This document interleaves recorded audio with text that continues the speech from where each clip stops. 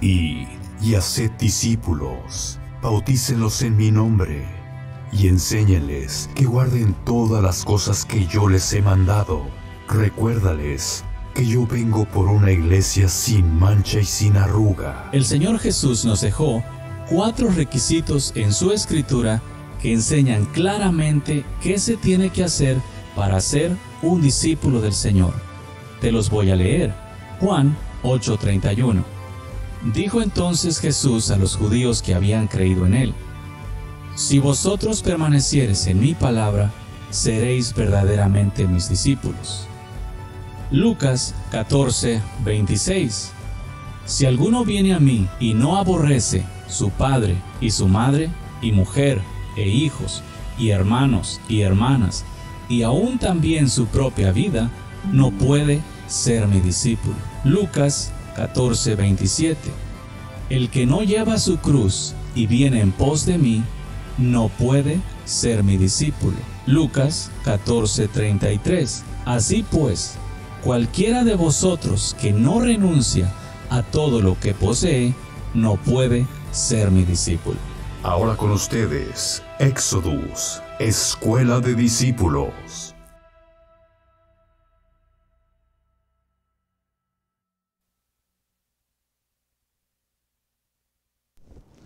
Paz con ustedes.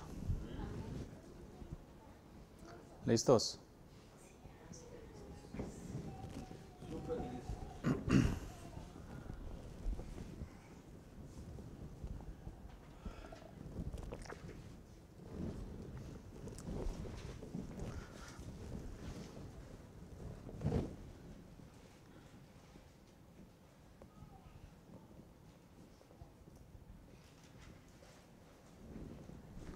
Nos habíamos quedado en el libro de... ¿Está prendiendo la bocina de atrás?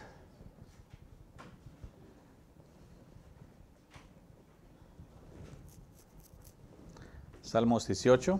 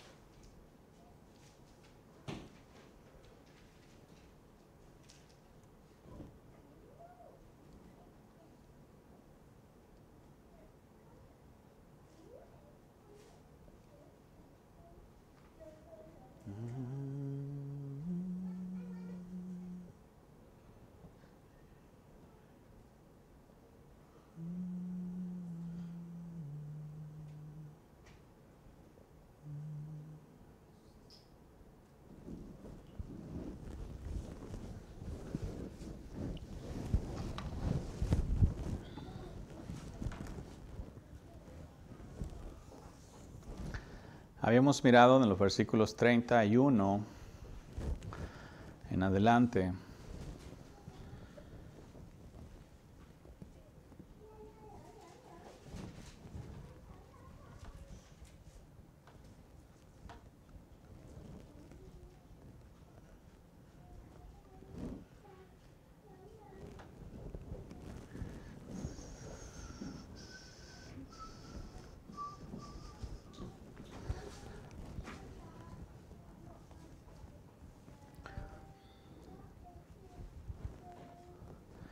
Dios es porque solo Dios, porque ¿quién es Dios sino solo el Eterno?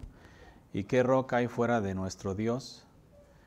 Dios es el que me ciñe de poder, quien hace perfecto mi camino, quien hace mis pies como de siervas y me hace estar firme sobre mis alturas, quien adiestra mis manos para la batalla, para entesar con mis brazos el arco de bronce me diste a sí mismo el escudo de tu salvación, tu diestra me sustentó, y tu benignidad me ha engrandecido. Ensanchaste mis pasos debajo de mí, y mis pies no han resbalado. Perseguí a mis enemigos y los alcancé, y no volví hasta acabarlos. Los herí de modo que no se levantasen, cayeron debajo de mis pies. Pues me ceñiste de fuerzas para la pelea, has humillado a mis enemigos debajo de mí, has hecho que mis enemigos me vuelvan las espaldas, para que yo destruya a los que me aborrecen. Clamaron y no hubo quien los salvase, aún el Eterno, pero no los oyó. Yo los molí como polvo delante del viento, los eché fuera como lodo de, de las calles. Me has librado de las contiendas del pueblo, me has hecho cabeza de las naciones. Pueblo que yo no conocía me sirvió, y al oír de mí me obedecieron. Los hijos de extraños se sometieron a mí, los extraños se debilitaron y salieron temblando de sus encierros. Viva el Eterno y bendita sea mi roca, y enaltecido sea el Dios de mi salvación, el Dios que venga a mis agravios y somete pueblos debajo de mí el que me libra de mis enemigos y aún me eleva sobre los que se levantan contra mí. Me libraste de varón violento. Por tanto, yo te confesaré entre las naciones, oh Señor, y cantaré a tu nombre. Grandes triunfos da a su rey, y hace misericordia a su ungido, y a David y su descendencia para siempre. Amén. Habíamos mirado varios versículos de ahí, una repasada desde el 31.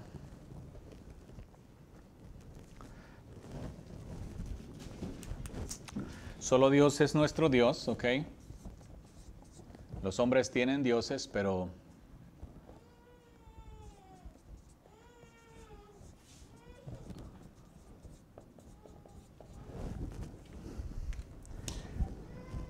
se los hacen cada quien según sus religiones. Ahorita el Dios más peligroso,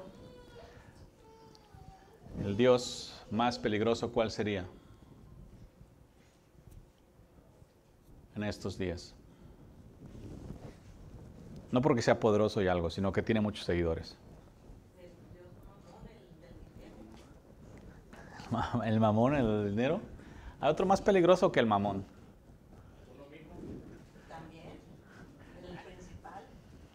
El, yo, el, ego, ese es el más peligroso todavía que el dinero, porque hay gente que, la mayoría busca el dinero, pero ah, los que no tienen dinero incluso buscan su propia voluntad. Entonces, ah, un asunto aquí bien importante entender, el primero es, solo Dios es nuestro Dios, o sea, únicamente se debe hacer la voluntad de Él. ¿okay? No se deben de perseguir las riquezas y ahí se tiene que encontrar el balance entre trabajar y ganar dinero y perseguir las riquezas. ¿okay? Porque muchas veces la gente se confunde. Ah, pues eh, el amor al dinero es la raíz de todos los males, entonces ¿cómo le hago? Entonces mejor no trabajo. No, tienes que trabajar, tienes mandamiento de los trabajar seis días. Entonces, se trabaja porque tienes que trabajar por mandamiento, pero no se trabaja para hacer riquezas. Si con el trabajo haces dinero, gloria a Dios, pero no estás con el propósito, con la meta de serte rico. ¿Ok? Es diferente. Puede que te hagas rico, porque si haces un buen trabajo, tienes un negocio, lo que sea, puede que hagas bastante dinero, pero no ese es el plan, el afán ni el propósito. Porque ya cuando ese es el afán, ya tienes un Dios, el mamón. El otro, el más peligroso, es hacer tu voluntad. El de hacer tu voluntad es bien peligroso, ¿ok? Solo Dios es nuestro Dios. No vamos a hacer nuestra voluntad.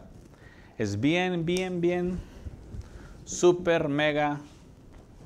A mí, no, ¿de qué manera puedo estresárselos? La importancia de, de no hacerse sus propios dioses o de buscar hacer su voluntad. ¿Ok? Normalmente ahí no se le pone mucho la atención porque se consideran que son humanos, ¿no? Y como se consideran humanos, se consideran que tienen deseos. Y como tienen deseos, pues tienen que cumplir esos deseos, ¿no? Ya sean carnales o lo que sea, tienes que satisfacerlos de otra manera. Y no se le pega mucho a ese Dios, ni se busca eliminarlo, porque simplemente se considera que es parte de la humanidad o del ser humano. Igual puedes eh, haber nacido, pero no significa que te vas a entregar a hacer tu voluntad. Aquí es donde voluntariamente cada uno se afirma a hacer la voluntad de Dios en lugar de la suya. Ya tenemos ejemplos de Jesús de Nazaret, tenemos ejemplos de Moisés, uno nuevo, otro más antiguo, que los dos al final del día renunciaron a, hacer, a sus deseos con tal de cumplir la voluntad del Padre. Eso se lee y se predica, pero no, no se pone tanto en el enfoque. ¿Sí?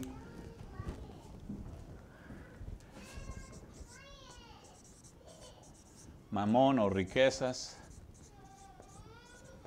estas no son las riquezas en sí, sino es el amor. La voluntad, sí, tampoco es pecado en sí. Es el uso que le das. ¿A dónde la pones? ¿En Dios o en ti? Entonces, ah, la voluntad no es mala. La voluntad nos fue dejada con la, para que la oportunidad de elegir a Dios voluntariamente sea hecha, sea tomada. O sea, es como la riqueza. Las riquezas en sí no son malas. Jesús dijo que el amor, eso es lo malo, el amor a las mismas riquezas. Entonces la voluntad, yo agarro mi voluntad y la pongo en Dios. Una persona me insulta. ¿Sí? Tengo la opción. Agarro mi dignidad, mi orgullo, mi altivez. Digo, no, eso no te la paso. O mato todo eso y hago la voluntad de Dios, paso por alto la ofensa. ¿Sí? La voluntad no únicamente se aplica como al yo querer. Si yo quiero hacer lo bueno y no lo hago, puse mi voluntad en Dios. Si yo digo que pongo mi voluntad en Dios y no la pongo, ¿está en Dios? ¿Cuándo la puse realmente? Cuando hago. Cuando la hago, cuando hago la voluntad de Dios, allí tengo yo testimonio de que literalmente la puse. Ya no son palabras, ya es acción. La puse en Dios. ¿Ok? Entonces, tengo otra oportunidad de alguien más me hace mal, me roban, vamos a decir. Alguien me roba. Tengo la opción de pelear, de sufrir, de llorar, o tengo la opción de pasar por alto la ofensa. Al momento que paso por alto la ofensa, puse mi voluntad en la voluntad de Dios. Porque la voluntad de Dios para mí, ¿cuál es? Es que en esas situaciones yo perdone y pase por alto la ofensa y no peleé con mi prójimo por asuntos materiales. ¿Verdad? Entonces yo puse mi voluntad. Si yo decido llorar, sufrir o, perseguir a la persona, o si alguno de ustedes conocidos, hey, regrésamelo, ya estoy haciendo mi voluntad, porque estoy yendo tras las cosas terrenales. Sí, entonces la voluntad de Dios no es nada más así como, la voluntad tuya no es nada más como, ah, pues yo, yo, yo, yo pongo mi voluntad en Dios. No, se manifiesta en las acciones. Y es un asunto que tú puedes decir, ok, yo pongo mi voluntad en Dios, pero en las acciones individualmente se va a ir viendo si tú literalmente pusiste tu voluntad en Dios o no. En cada acción, específicamente las más grotescas, las más coloradas, las más duras, las más difíciles, las más que duelen, todo eso, cuando tú eliges allí hacer la voluntad de Dios, eso das testimonio que tu voluntad la eliminaste y la pusiste en la voluntad de Dios. Por eso solo Dios es nuestro Dios. ¿Sí? O solo, o quién es Dios sino solo el Eterno. O no hay otro. Al momento que tú estableces, haces tu voluntad, para ti hay otro Dios. No hay, ¿verdad? Pero tú creaste tu propio. Así como la raza hace ídolos y luego se arrodilla, pues tú no, haces, tú no te haces uno, no te arrodillas ante él, pero en la forma física, pero tu voluntad es doblada a tu deseo. Cada vez que la voluntad tuya es doblada según tus deseos, si son carnales, estás rindiéndote ante ese Dios que tú mismo creaste, tu voluntad, el tú. Por eso Jesús dijo uno de los mandamientos primero, si quiere venir en pos de mí, niegues a sí mismo. ¿A quién eliminas? Eliminas tu voluntad, tus derechos, tus sueños, tus anhelos, eliminas que la gente te respete, te honre, te traten con dignidad o te traten como si fueras algo bueno en la tierra. Eliminas todo eso. La negación hace que todo eso se elimine en realidad. Tú ya no estás buscando buenos tratos de nadie ni nada. Simplemente la negación es, tú no esperas nada de nadie. El, mejor ejemplo de la negación es estar muerto. Una persona muerta, ese es el ejemplo de la negación y ese es el primer paso, uno de los primeros pasos para venir en pos de Jesús. Por eso Jesús va inmediatamente contra el Dios más peligroso del hombre. Porque desde los siglos los humanos siempre han hecho su voluntad empezando desde el jardín. Eva, no comas, hace su voluntad. La excusa la puede tener que el diablo platicó con ella, ¿verdad? Pero ella quiso, ella estiró la mano, agarró y comió. ¿Fue su voluntad?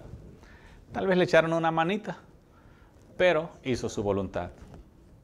Ya seguramente muchas veces paseaba por por el jardín y, miraba el arbolito, ¿no?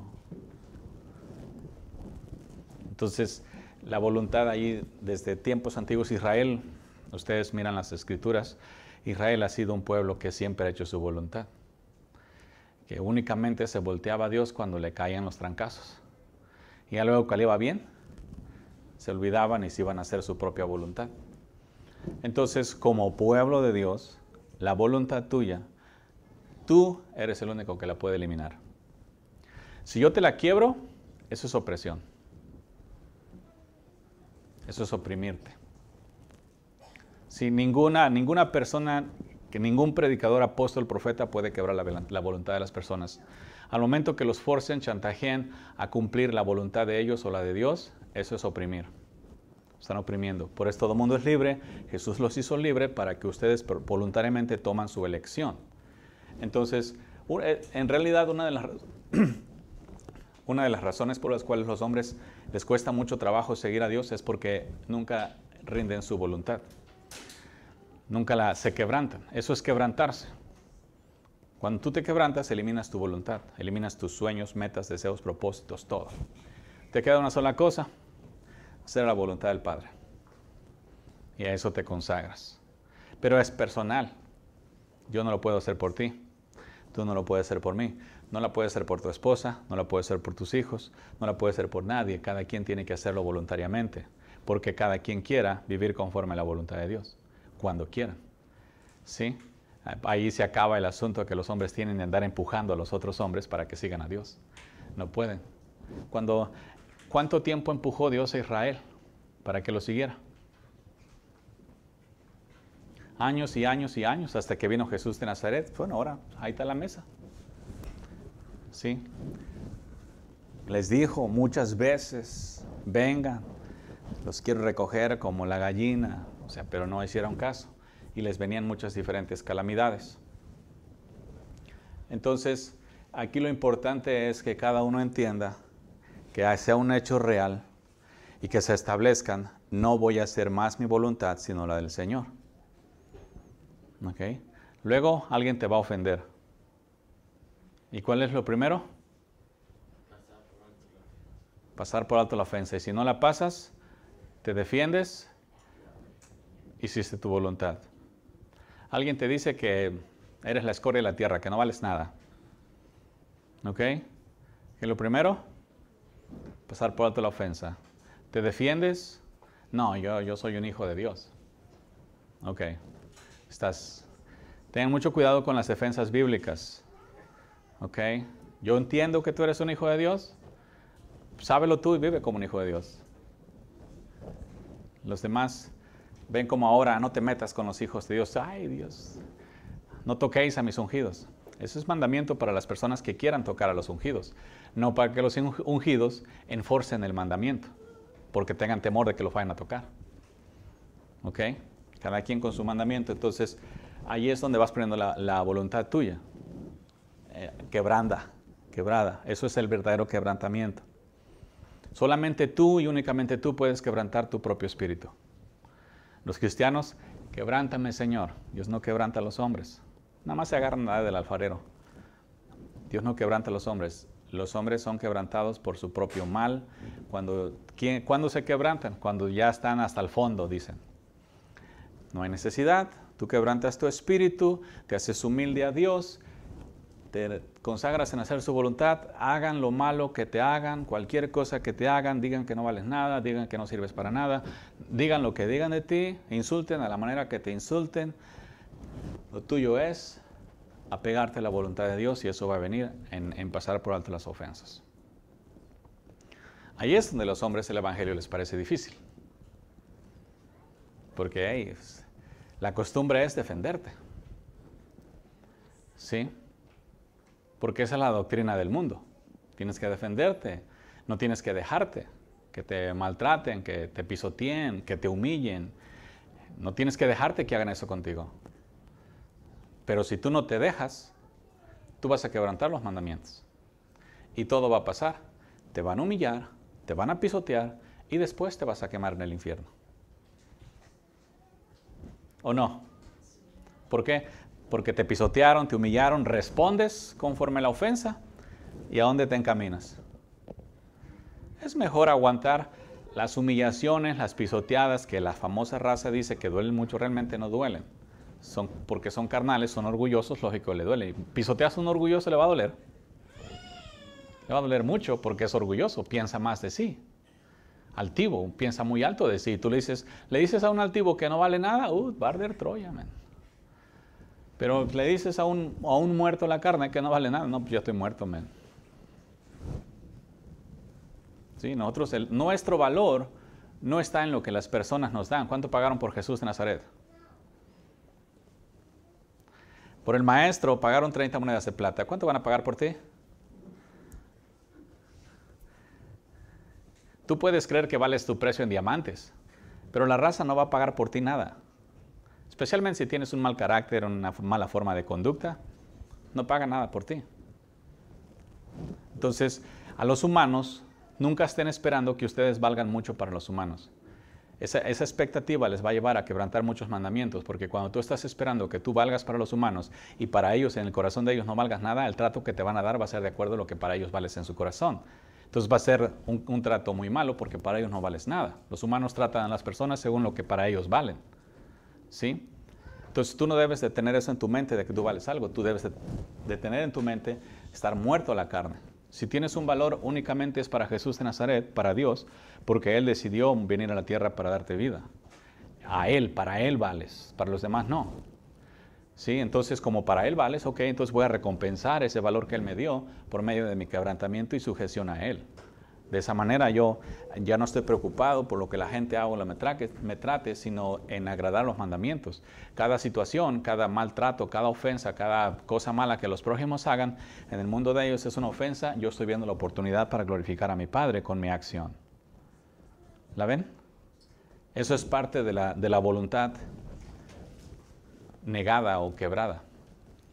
Porque si tú te defiendes, ya no es la voluntad de Dios, porque Dios dijo no te defiendas. Al defenderte ya no es la voluntad de Dios, sino la tuya. Aún en palabras. Aquí miramos un versículo.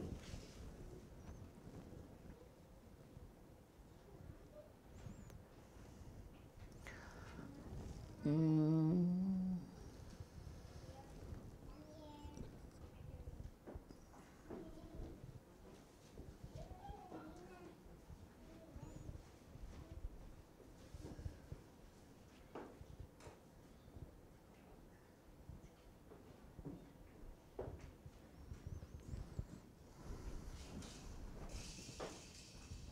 Versículo 43, me has librado de las contiendas del pueblo.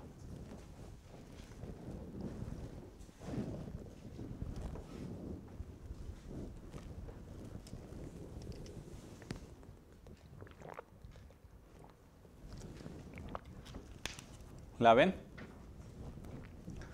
¿Cómo te libra Dios a ti de las contiendas del pueblo? Si tú eres una persona contendiente, entonces va a ocasionar que todo el mundo deje de contender contigo. ¿Cómo te libra? Estando en paz con Quebrantas tu voluntad.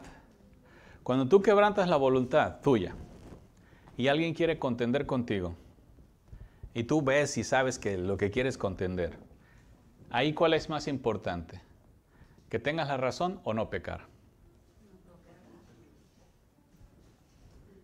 ¿Cómo te libró a ti de la contienda entonces? Cuando tú estás muerto a la carne, ya no te importa. Ven como normalmente en el cristianismo, yo, en el mundo pues, no hay mucho de esa contienda. La gente no está tan preocupada por doctrinas y cosas así. En el mundo simplemente viven en su maldad. ¿no? En el cristianismo yo miro eso, que la gente le gusta mucho tener la razón, de tener la verdad en las doctrinas. Ah, yo tengo la verdad. Entonces viene otro que habla diferente a ti o que cree diferente de la misma Biblia. Y ahora sí, véngase para acá, papá.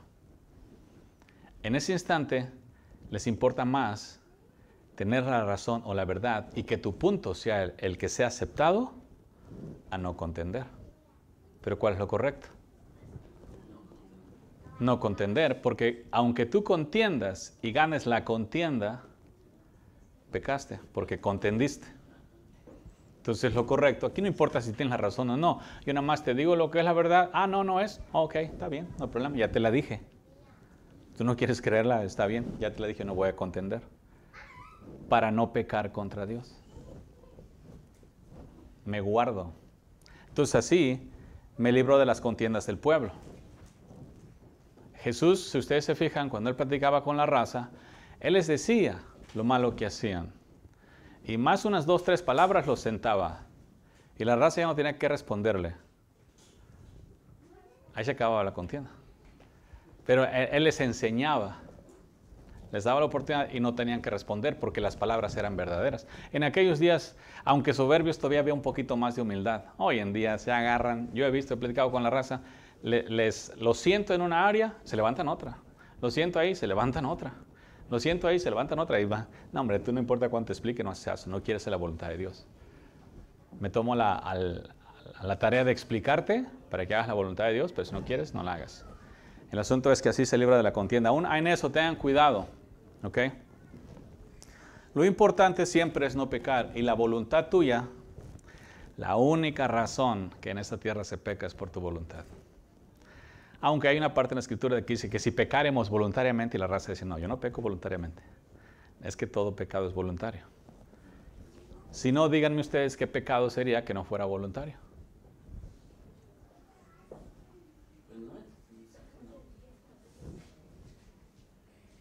Aún si te van a matar y por salvar tu vida tú dices, ok, yo lo voy a hacer, aún es voluntario porque te amenazaron para quitarte la vida, pero tú decidiste, para que no me maten, lo hago.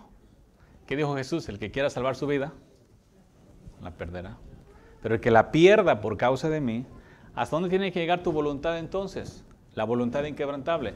Tiene que llegar hasta que si quieren matarte para que tú peques, pues me matas primero y no peco. No importa que me mates, no voy a pecar. Así de, así de firme. ¿Ok? Pero para llegar a esa voluntad, tienen que asegurarse en todos los deseos propios de que no quebranten la voluntad de Dios por hacerla de ustedes. Porque si la gente dice, como Pedro, no, Señor, yo contigo hasta la muerte, y cuando le miró los dientes, ya, es una cosa es decir yo contigo hasta la muerte, otra cosa es tener la muerte encima. Entonces, la mayoría piensa que sí, yo contigo, Señor, no, yo no me aparto, pero cuando tú te fijas a tu propia voluntad y miras que estás haciendo tus propios deseos, ahí es donde en realidad ah, tu voluntad no es inquebrantable y tú prefieres hacer tus deseos, tu voluntad, antes que la voluntad de Dios. Por eso, estén bien claros, solo hay un Dios, no hay dos. ¿Ok? No es Dios y tú, es Dios. Nada más. ¿Ok? Eso es lo que significa seguir a Dios. Todos son libres de seguirlo o no. Pero si lo van a seguir, tienen que entender que únicamente existe un Dios. Que tú no puedes hacer tu voluntad y la de Él al mismo tiempo al menos que tu voluntad y la de Él sean una, como la de Jesús y la de Él. Mi comida es hacer la voluntad de mi Padre. Yo para eso he venido, para hacer la voluntad de mi Padre. pasa de mí esta copa, pero si no es tu voluntad, me la bebo. ¿Están viendo? Agarran en el asunto ese de, no tendrás otros dioses fuera de mí. Lógico que de ahí todo. ¿Haces la voluntad de tu esposo en algún pecado? Tu Dios. ¿Haces la voluntad de tu esposa en algún pecado? Tu diosa. ¿Haces la voluntad de tus hijos en algún pecado? Tu Dios. ¿Haces la voluntad del jefe en algún pecado? Tu Dios. cualquier persona que tú hagas la voluntad de ellos y quebrantes el mandamiento por causa de ellos para cumplir los antojos y deseos de ellos, ellos son tus dioses. Para ti. Para el otro no puede valer nada, pero para ti está, valiendo más que la voluntad de Dios. Solamente hay un Dios. ¿Están claros? ¿La están viendo cómo funciona? No se contaminen por nadie.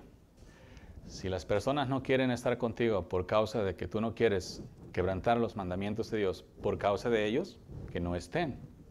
Yo he perdido amigos, personas a veces que yo consideraba muy cercanas, porque no quise complacerles en algún pecado que querían que cometiera para su favor de ellos, pues perdí su amistad. Pongo la balanza, ¿qué es mejor? ¿Pierdo la amistad de un humano o la de Dios? Ah, pierdo la del humano.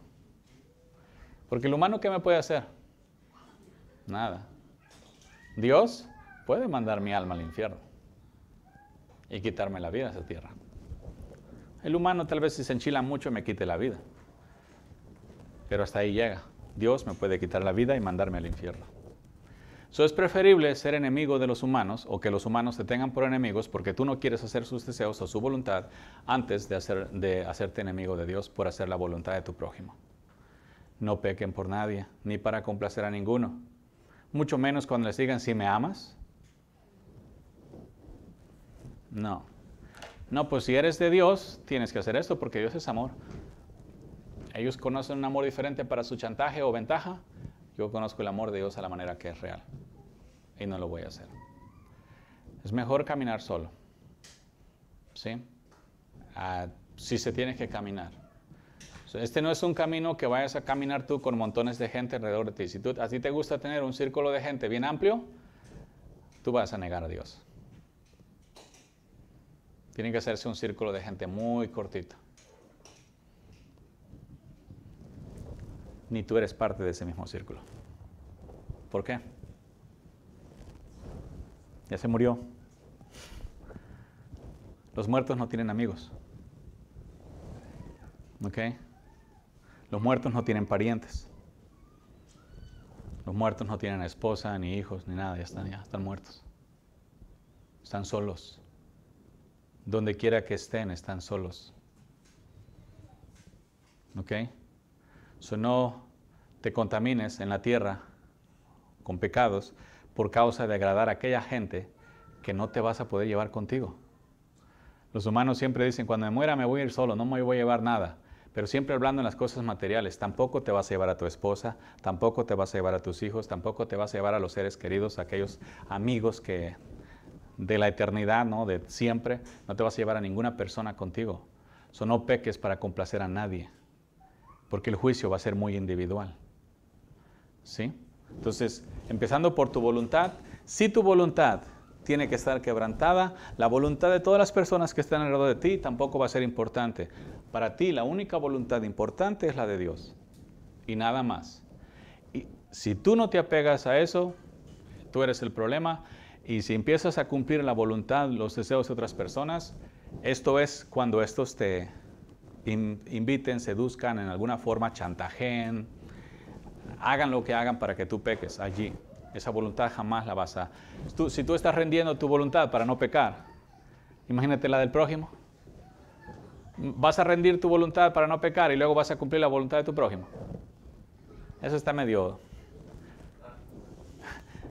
O sea, ¿quién en sus sentidos hace eso? No, espérame, yo estoy rendiendo mi voluntad para no pecar contra Dios y voy a cumplir la tuya.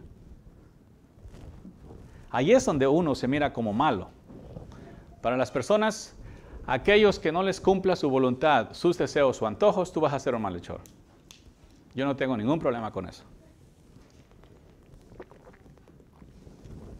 No tengo ningún problema que las personas me miren como malhechor simplemente porque no quise hacer su voluntad en algún pecado. No me importa. ¿Ok? Y pueden decir, a ver, dime qué mal te hice. Lo único que yo no quise hacer es ese pecado y por eso te enchilaste. ¿Es eso malo? ¿Sí la ven?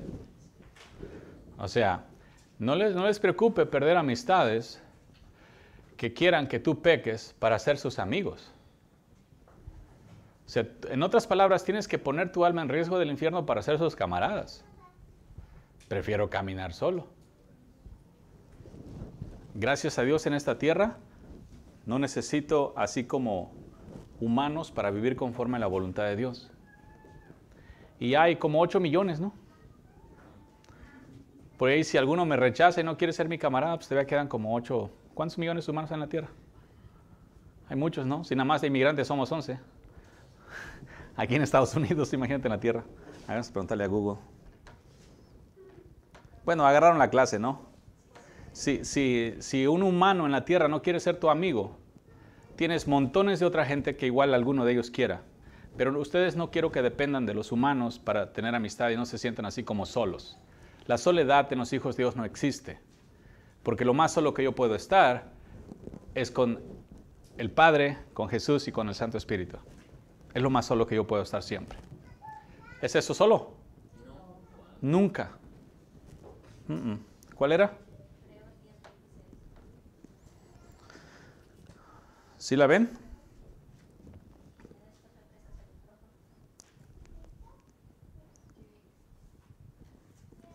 Va a tener que hacerte diácono a ti, men. ¿Hebreos qué?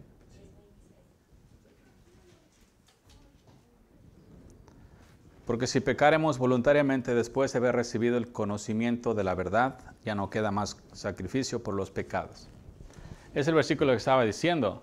La raza dice que, no pecan voluntariamente porque ahí dice, porque si, si pecaremos voluntariamente, como si los pecados no fueran voluntarios. En realidad, todos los pecados son voluntarios. ¿Sí? Al final del día. Dale. Ahorita cuando leíste ese versículo, dice que si pecaremos voluntariamente. Ayer en la madrugada el Señor me mostraba esta situación y me la estoy compartiendo por que afuera están viviendo personas en esa situación que me fue revelada de parte de Dios. Había una reunión familiar en una casa y en esta reunión familiar estaba una esposa y un esposo y había familia de los dos lados, tanto de la señora como del señor. Pero este hombre era un hombre que en cierto momento Dios dio, testimonio de que le había sido dado el corazón como el de él que lo cuidara para que su caminar fuera recto delante de él y que no se dejara contaminar por nadie. Entonces, estaban ahí en la mesa sentados, platicando, y este hombre empezaba a, jugar en bromas. Estaba platicando, pero diciendo bromas, y en las bromas que decía, decía mentiras. Entonces la señora le decía, ¿no te da vergüenza? En un momento les estuviste predicando de que se apartaran de sus pecados y ahora estás pecando delante de ellos con bromas de doble sentido en cuanto tú sabes que eso es mentira. ¿No te avergüenzas de tu camino? ¿No te da pena lo que ellos están mirando en ti que eres un hombre de doble ánimo? Y lo estaba reprendiendo la señora. Entonces el hombre no hacía caso y miraba que llegabas tú a esa reunión y te decía a ti, Raunel, dígale que deje esa forma de caminar porque no es correcta delante de Dios. Yo ya le he dicho muchas veces y no me quiere hacer caso. Entonces tú decías estas palabras. Si no hace caso a Dios, ¿por qué me va a hacer caso a mí? Porque voluntariamente Él decide pecar. ¿Cuál es la instrucción aquí que Dios quiere? Que si se sigue esa forma de conducta, como leíste en Hebreos, que si después de haber conocido la verdad se peca voluntariamente, no queda más que una horrenda expectación del lago de fuego. Ese, ese es el destino que te espera a ti que estás cometiendo esa clase de vida que estás viviendo, si no te apartas de ella.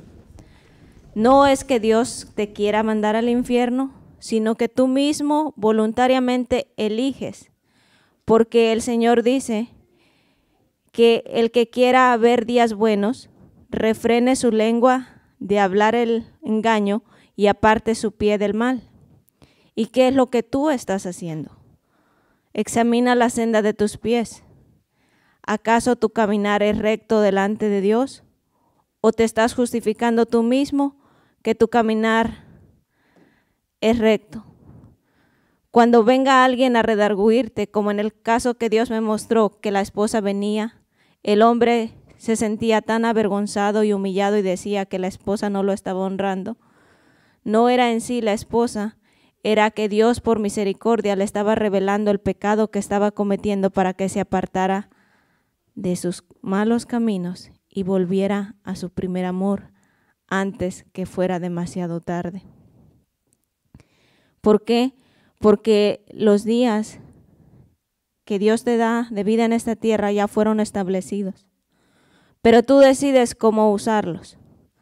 ¿Los usas para vivir en santidad, agradando a Dios, haciendo lo que es recto delante de tu Padre? ¿O los decides vivirlos, malgastándolos, complaciendo a la gente para pasar un rato agradable? Pero el rato que tú vas a pasar cuando vayas de esta tierra no va a ser nada agradable. Todo por complacer un montón de gente que no quiere dejar sus malos caminos, que no quiere seguir a Dios, que en sus corazones están, de continuamente el mal. Mínimo, si ya viste que no quieren recibir la instrucción, conságrate tú, apártate tú del mal y sigue tú a Dios. ¿Por qué? Porque en eso vas a tener bendición tanto en esta vida como en la venidera. Si te apartas tu pie del mal vas a tener paz y en la venidera vas a estar en el reino con el Padre. Pero si decides ser necio e iracundo y sigues viviendo para ti mismo en deleites, después de haber conocido la verdad de lo que el Padre pide de ti, ya sabes lo que te espera. Así que después no digas, Señor, cómo aborrecí el consejo, porque hoy es el día de salvación, hoy lo puedes cambiar. El ayer ya pasó, pero el Jesús dice, si oyeres hoy su voz, no endurezcas tu corazón.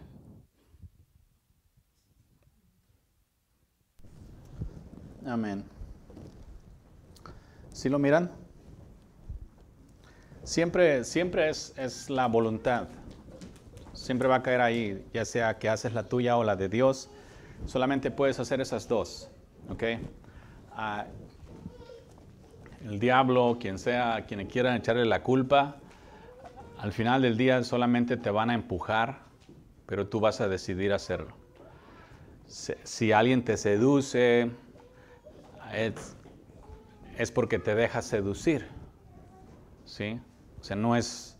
Si ustedes se fijan y le ponen atención de la cual manera de todas las excusas cristianas que tenían o tengan de la razón por la que pecan, al final va a ser su voluntad. ¿Sí? Y ahí es donde tiene que poner atención. Dice a López que no es posible dejar de sentir dolor físico si alguien te ataca o daña el cuerpo físico. ¿Cómo es que no se va a defender? Bueno, ahí es donde otra vez entra la voluntad. Tú tienes la opción de defenderte o apegarte al mandamiento. ¿Qué dijo Jesús de Nazaret si te pegaron un golpe físico? Él dijo que pusieras la otra. ¿Tú quieres defenderte con la otra? Eso ya es personal. Y aquí es lo que quiero que entiendan y vean. Es el razonamiento. Yo sé que tienes derecho.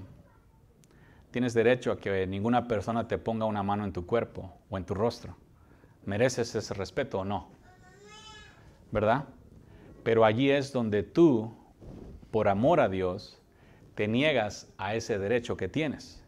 ¿Para qué? para que tú no peques contra Dios. Si quieres defenderte y pecar contra Dios, lo puedes hacer, porque tienes la opción. Pero si tú quieres agradar a Dios, verdaderamente no te vas a defender. ¿Sí? Ciertamente Jesús en un momento dado le dijo, hey, si, si este he pecado, da testimonio de mi pecado, y si no, ¿por qué me golpeas? Sea, tiene que redarguir a las personas. Puedes redarguir a las personas, pero no defenderte, eso no es defensa. Él estaba diciendo, ok, da testimonio de mi pecado. Al no encontrar pecado, ¿qué pasa con la persona? Es redarguida de que lo está haciendo incorrectamente y se puede arrepentir. O sea, pueden siempre redarguir a las personas del mal que hagan en contra de ustedes, pero no usar el redarguye como una defensa. Uy, tocaste los ungidos de Dios, te va a caer la ira de Dios sobre ti. Eso no. Aunque sí hay mandamiento de que no toquéis a mis ungidos, no es tuyo usar el mandamiento para defensa. Lo único que sí pueden hacer con sus prójimos que los maltratasen físicamente es redarguirlos. Pero ¿qué pasa si tu prójimo está irado contigo al grado de que ya golpeó tu cuerpo y tú le das un redarguye? ¿Cuáles son las chances? ¿Te va a dar otro o se va a calmar? Chances son que te dé otro, porque él no va a tomar el redarguye, especialmente si es de esos que pegan donde tienen que pegar, él no lo va a tomar como que es por su bien. Él lo va a tomar que te estás defendiendo. Ahí debería de usarse la palabra suave, calma la ira. ¿Sí? En lugar de ponerse bien bullies, una predicada salvaje, te dan una surtida rica.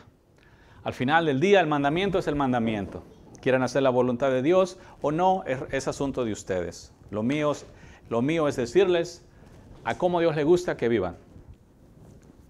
Pero sí sepan que si sus prójimos van en contra de ustedes, aún físicamente, y ustedes se defienden, van a quebrantar el mandamiento. Y eso no garantiza que les van a seguir dando otra paliza más dura. Les pueden seguir dando una paliza y ahora ya son pecadores. Y si los matan en la paliza, ¿a dónde van a terminar? Es mejor que te maten santo a que te maten pecador. ¿O no? ¿A dónde vas si mueres santo? Con Dios. ¿A dónde vas? Imagínate, andas viviendo en santidad, bien bully acá, ¿no? Y te topas tantas cachetadas y un malhechor por ahí que, y te pones medio al brinco porque te quieres defender. Y es uno de esos, ven que la gente mala son muy arrogantes, ¿no? Siempre se creen la crema te pones al brinco con ellos, te quieres defender bíblicamente, se enchila contigo, te da otra golpiza más fuerte, ¿y qué tal se enchila más y decide matarte? Y tú te defendiste. En ese último instante perdiste tu vida en la tierra por defender tu vida. La raza siempre dice, ¿qué? ¿Voy a dejar que me mate? Pues te tienen que matar, que te maten santo, ¿no?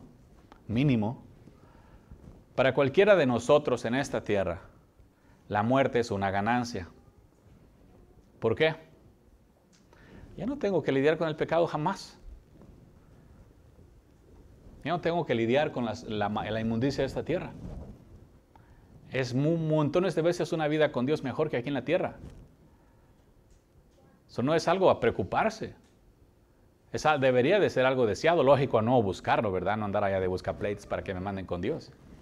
La raza luego malinterpreta las cosas sino estamos hablando de vivir en santidad. Y si alguien tiene que quitarme la vida aquí en la tierra, pues gloria a Dios por ello. Es algo mejor a seguir viviendo en esta tierra. Y si yo soy requerido en esta tierra para hacer la voluntad de Dios, porque todavía no acabe lo que tenga que hacer, ¿cuántas veces quisieron matar a Jesús antes de su tiempo? Y no le tocaron ni un pelo. ¿Por qué? Porque todavía no llegaba su tiempo. A mí me, impresiona esa de cómo lo, lo llevan entre toda la muchedumbre hacia el acantilado para desparramarlo, ¿no? Hazte cuenta que llega a la orillita y se regresa, dice, aún no es mi tiempo. Tuvo que pasar por el medio de ellos. ¿Dónde más iba a pasar? Ni modo que le corriera por la chamisera. Tuvo que pasar por el medio de ellos, todavía no es mi tiempo. Sí voy a morir, pero no, no desbarrancado. ¿Ok? Que no cunda el pánico. Si tienes cosas que hacer en la tierra, nadie va a tocarte, al grado de quitarte la vida. Pablo, por ejemplo, ¿cuántas veces trataron de matarlo? Varias veces también. Le dieron, le surtió bonito, le dieron unas golpizas, pobre camarada. Lo dejaron por muerto. Y ahí estaba. ¿Ok? Todavía no era su tiempo. Él iba a morir, pero ya con los romanos.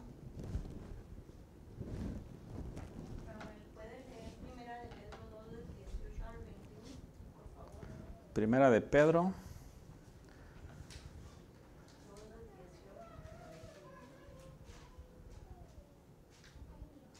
Dos dieciocho al 21. Primera de Pedro 2.18. ¿Criados ese? Sí. Estad sujetos con todo respeto a vuestros amos, no solamente a los buenos y afables, sino también a los difíciles de soportar. ¿Verdad? Sí, porque es bien fácil sujetarse a uno bueno. Nah, es la crema mi voz. Pero cuando los trae bien cerquita, ahí como, como con látigo, y órale, producción, men. Ah, no, es hijo del diablo. No, también a ese amen porque esto merece aprobación si alguno a causa de conciencia delante de Dios sufre molestias padeciendo injustamente. O sea, Dios nunca dijo que no, nos iban a poner la mano encima, ¿ok? Por eso nos dio el Santo Espíritu para librarnos a nosotros de pecado cuando nos pusieran las manos encima, ¿ok? Lo único que Dios busca en nosotros es proteger nuestra alma. Es lo único, porque esa alma es la que va a cruzar nuestro espíritu. Ese tiene que estar siempre limpio. El Espíritu de Santo Dios nos es dado para mantenernos limpios, para cuando la gente nos trate injustamente, por el Espíritu de Dios hacemos nosotros bien y nos guardamos en sí de pecar. Dios, el único propósito de Dios es guardarnos a nosotros de contaminación. Y eso es por el Espíritu Santo de Dios y la obediencia nuestra. ¿Ok? Porque qué gloria es si pecando sois abofeteados y lo soportáis. ¿Cuántas veces tuvieron esa experiencia? Que les dieran sus cachetadas y miraste que el otro estaba más picudo que tú, que dice, no, pues mejor que digan que corrió una gallina. No que murió un gallo, ¿no? Tranquilo, yo con una tengo. Siendo malhechores, hay mucha raza que aguanta unas cachetadas. Siendo malhechores. O sea, entonces, siendo santos, si los malhechores pueden soportar unas cachetadas, ahora los santos. Ahora, si no son unas cachetadas, es una paliza. Los malhechores soportan palizas. Duele, ¿ok? Pero no hay garantía en Dios de que en realidad ah, te vaya a guardar a tal grado de que nunca tenga una paliza, porque tenemos ahí los primeros discípulos, a su mayoría los mataron. ¿Ok? Son, quítense el temor a la muerte y asegúrense siempre estar bien, por si acaso por causa de la justicia se los tengan que echar. Asegúrense si se van a cruzar la muerte que no crucen defendiéndose. ¿Sí? Si entran, andan en barrios donde hay mucha injusticia y eso, asegúrense de ser mansos y humildes y se, se los, si llegó el tiempo de ustedes y llegó de esa manera, ustedes no se van a ir de esta tierra a la, únicamente a como dos tiene señalado que ustedes se vayan a ir. Si ustedes andan de provocativos, las cosas pueden cambiar, pero que porque ustedes las provocaron. ¿Ok? Por eso el mandamiento es mansos y humildes. Si agarran a golpes a un manso y humilde, ¿qué hace? Recibe los trancazos que le den como se los den. No dice nada. Ahí tenemos el ejemplo del maestro. El maestro fue golpeado bien rico. Digo rico no porque esté deleitable, sino me refiero a la, cantidad que le dieron. ¿Sí? Y él aguantó mudo manso y humilde, aguantó todos los trancazos que le dieron. Hablando del maestro. Ahora, nosotros somos en cierta manera más especialitos que él, para que nos den un trato mejor. Bienaventurados los que nunca les tocan la cara de un golpe. ¿Sí? No estoy esperando que a ninguno le den golpe, pero el asunto es que le pueden tener situaciones donde ustedes, I mean, tengan que pasar por esas situaciones y las van a pasar. Yo no se las puedo quitar, pero sí puedo hablarles de estas cosas para que ustedes estén preparados en sí por si un día les toca. ¿Sí? Porque hay mucha gente en la tierra que hace muchas cosas malas. ¿Tienen mandamiento de no hacerte mal? Sí. Tú mismo has sido testigo propio de que tú teniendo mandamiento de no hacerle mal a tu prójimo, se lo has hecho. O sea, imagínate si te pagan con la vara que me diste. Por eso sean, sean buenas personas. Para que mínimo si te va a llegar, que no te llegue por pago. Que te llegue porque el otro camarada decidió ser malo contigo. pero no porque tú siempre has sido malo con tu prójimo y teniendo el mandamiento de hacerle bien a tu prójimo, decides hacerle mal. No, pues es que no se lo merece. Pues en realidad en la tierra, ¿quién se merece que le hagan bien? Ahora sí, como dicen los cristianos, levanten la mano. O sea, todos fuimos pecadores. Sí, y el trato que dimos a los prójimos no fue bueno. Haciendo a la gente pecar, haciendo los reos del infierno. Una de las cosas que muchos se ha cerrado del infierno es la inmoralidad sexual. Pecado de muerte inmediatamente. Y muchos buscan en ese tiempo hacer caer a las personas, seducirlas para tener sexo con ellas, y en ese instante los hacen reos del infierno. ¿Nos vemos? ¿Están agarrando el hilo?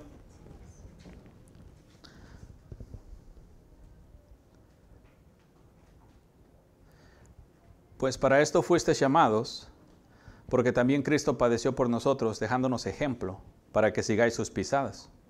¿Eso qué significa? Si Él fue puesto como ejemplo, yo tengo que seguir las pisadas. Me van a dar una garrotiza, siempre y cuando a Jesús no lo golpearon por pecador. Yo en mi mundo es lo único. Si me golpean por justicia, gloria a Dios, es un privilegio. Si me golpean por pecador, qué vergüenza, amén.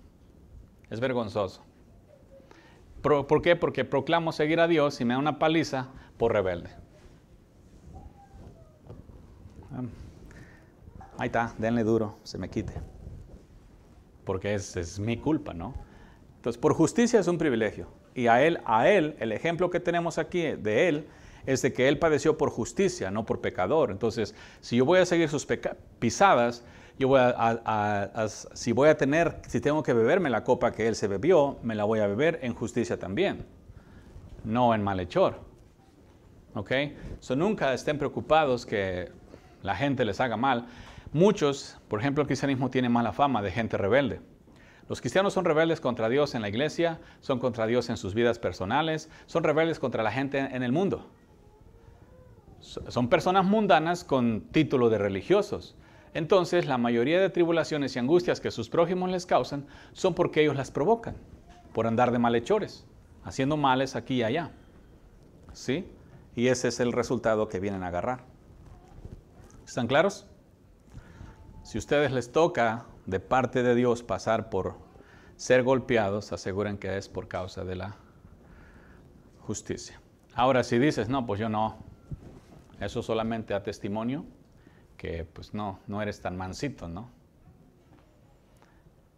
Yo entiendo que en el mundo fueron enseñados a sacar las uñas, córtenselas y escóndanlas. ¿Sí? En el mundo te enseña, te empuja a que tú te defiendas, a que tú no te dejes de nadie, a que te hagas una fiera. Los papás, de hecho, tienen la costumbre de enseñar a sus hijas a eso porque no quieren que sus hijas sean maltratadas y que se defiendan de los hombres abusivos. Y muchos traen esas doctrinas, pero deben de quitárselas todas. Este no es un camino donde nos defendemos de los pecadores. Se va a dar mal testimonio y peor, te vas a contaminar de pecado. Y la paga del pecado es muerte eterna. Allí es donde ustedes ponen las cartas sobre la mesa. ¿Me conviene defenderme o me conviene no defenderme? Me conviene no defenderme. Me voy a educar, disciplinar a no defenderme. ¿En cuál? En los pequeños malos tratos que la raza haga en contra de ti. Palabras chiquitas, juegos, bromas, de tu apariencia, de lo que sea, empiezas a pasar ofensas. ¿Sí? Las bromas son, las palabras son más sucias, más denigrantes, las pasas por alto también. ¿Sí? Te tocara llegar un, una cachetadita jugando ahí, como que tengo ganas de darte una bien rica, pero nada más le me, me controlo. Pasará por alto también, por si acaso al rato no se controla. ¿Okay? Ejercítense en pasar por alto la ofensa en las cosas que les van viniendo diario por si en un momento dado les viniesen cosas diferentes. Ella me está mirando muy cerquita.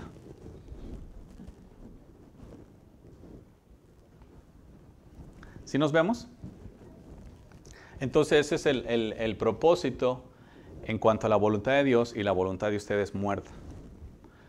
Seguir a Dios es fácil. La razón que se parece difícil es porque tienes que negarte. Y ahí es donde a los humanos les hace difícil. No, pero es que yo cómo, cómo voy a tolerar estos malos tratos. Eso no es de Dios. Más cuando los cristianos te enseñan que los malos tratos vienen del demonio y que tú no mereces esos malos tratos como hijo de Dios que eres. Vean cómo los enseñan a ser rebeldes contra Dios. No, tú no mereces que te traten así. Dios, Dios tiene cosas mejores para ti. Eso no, eso no es, no es, no es de Dios. ¿Sí? Yo sé que Dios tiene cosas mejores, Él tiene planes mejores, pero ¿qué tal si tiene que, eres una, como yo digo, según el sapo de la pedrada, ¿no? ¿Qué tal si está muy grande el sapo? Es una pedrada más grande. Las cosas son fáciles, ¿no quieres pedradas? ¿Qué tienes que hacer? Si la señora adúltera quería evitar las pedradas del adulterio, ¿qué tenía que hacer? No adulterar. No hay pedradas para los santos. Y si hay pedradas, que sea como Esteban. Con el cielo abierto, miro al Hijo de Dios a la diestra del Padre. ¡Puntas! Padre, perdónalos porque no saben lo que hacen. ¿Claros? ¿Ven cómo aplica la voluntad? Ten mucho cuidado, es muy peligrosa. Pero el peligroso en realidad es tú. No quiero que miren, ay, la voluntad me gana. La voluntad no tiene vida propia en ti, ¿ok? Eres tú. Tú eres el que la gobierna al 100%. Yo hablo de la voluntad porque estamos hablando ahorita, pero no quiero que la miren como algo separado de ti. Oh Señor, esta voluntad que tengo, ya quebrántala. Porque los humanos quieren que todo les quebrante no quieren quebrantar nada. Pues eres tú.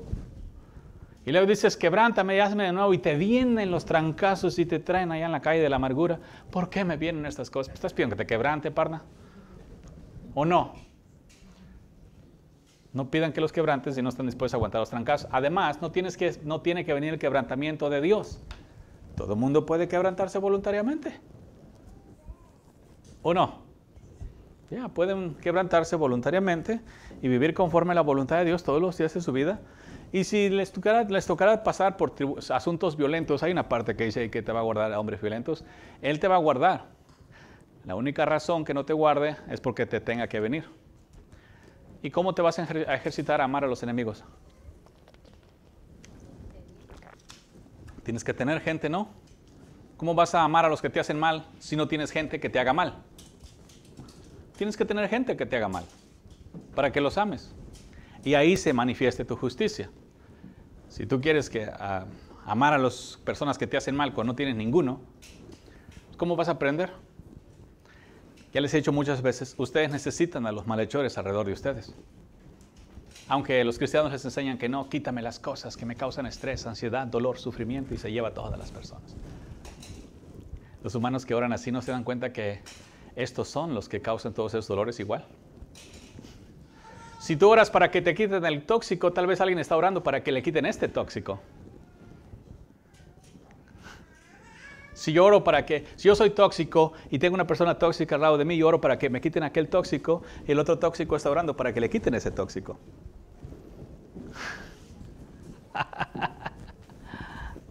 ah, raza. ¿Están claros? ¿Ya leí todos? Fácil, ¿verdad? Hay ejemplos, o sea, siempre y cuando sea por justicia. Que nunca te vaya mal, te trate mal la gente, que la gente no te golpee y te dé tus palizas, malos tratos por malhechor. Sí, yo, muchas veces en, la- en las casas de violencia doméstica, la- las personas, en este caso las mujeres, se, este, en sus defensas llegan a unos, a unos situaciones muy difíciles donde ponen a los hombres prácticamente que hay gente abusiva en sí y hay otros que ocasionan pleitos. So, no hagan pleitos con nadie ni con nadie. Vivan en paz.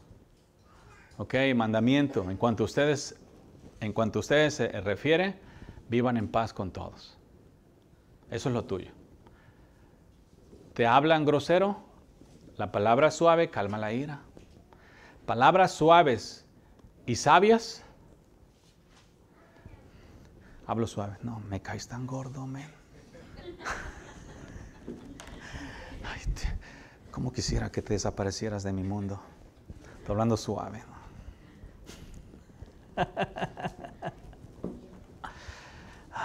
quisiera irme de tu lado y nunca volver.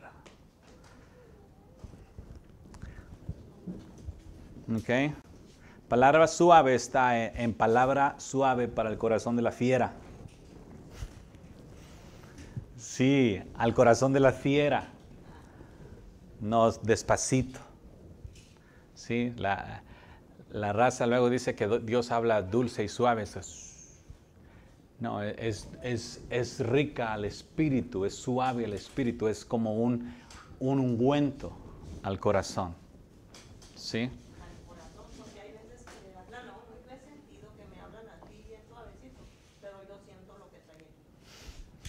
Ya, es que no es el hablar suavecito en tono de voz, es, es la palabra que pega en el corazón de la persona según la necesidad. Por eso se requiere el Espíritu Santo de Dios, porque el Espíritu conoce exactamente el corazón de la persona y las palabras del Espíritu producen y hablan exactamente a la persona y el Espíritu es el que se encarga de calmar la ira por las palabras que le fueron habladas. ¿Sí? Como en el asunto de Jesús, cuando le estaba pegando y está testimonio de mi pecado. Eso no paró a los otros, ¿verdad? Pero mínimo se redarguyo uno. Las palabras suaves tienen que ir de acuerdo al corazón de la fiera, del que está maltratando, el que está golpeando. Tienen que ir a su corazón. No es el tono de voz. Porque como ahorita estaba diciendo, tono de voz grosero, despacito, no va a calmar la ira, man. ¿Qué dijiste? Órale, men. A mí lo que digas, dígamelo derecho y en la cara. ¿Sí? De hecho, a los airados no les gustan los susurros. ¿Sí? Porque ¿qué piensa un airado y la otra está susurrando? Seguramente me está dando maldecido en, secreto, nada más que pues como no tiene agallas no me la dice en alta voz. ¿Están claros? Pacíficos. Siempre. Hay muchas otras áreas de voluntad. La clase es nada más para que ustedes sepan y apliquen. ¿Ok? Siempre van a saber, es prácticamente imposible que tú no sepas si estás haciendo tu voluntad o la de Dios. Va a haber situaciones en las cuales te quieras hacer el ignorante, pero ya vas a saber que te estás haciendo el ignorante. Sí, siempre se sabe. Es prácticamente imposible que tú no sepas, esta es la de Dios y esta es la mía. ¿Sí? Hay muchas veces en que, ah, no, esta es la mía, pero dices, no, es la voluntad de Dios también. O sea, porque tú digas, establezcas una cosa para hacerla y, te quieras decir, ah, ya oré a Dios y por, por eso es la voluntad de Dios, no es. La voluntad de Dios no cambia con las oraciones tuyas. ¿Ok? Lo que Dios tiene para ti está para ti. Si tú vienes a orar para que la voluntad de Dios cambie para contigo, ¿va a cambiar por tus oraciones? Ahí tenemos al profeta falso. ¿Cómo se llama este camarada? Balaam.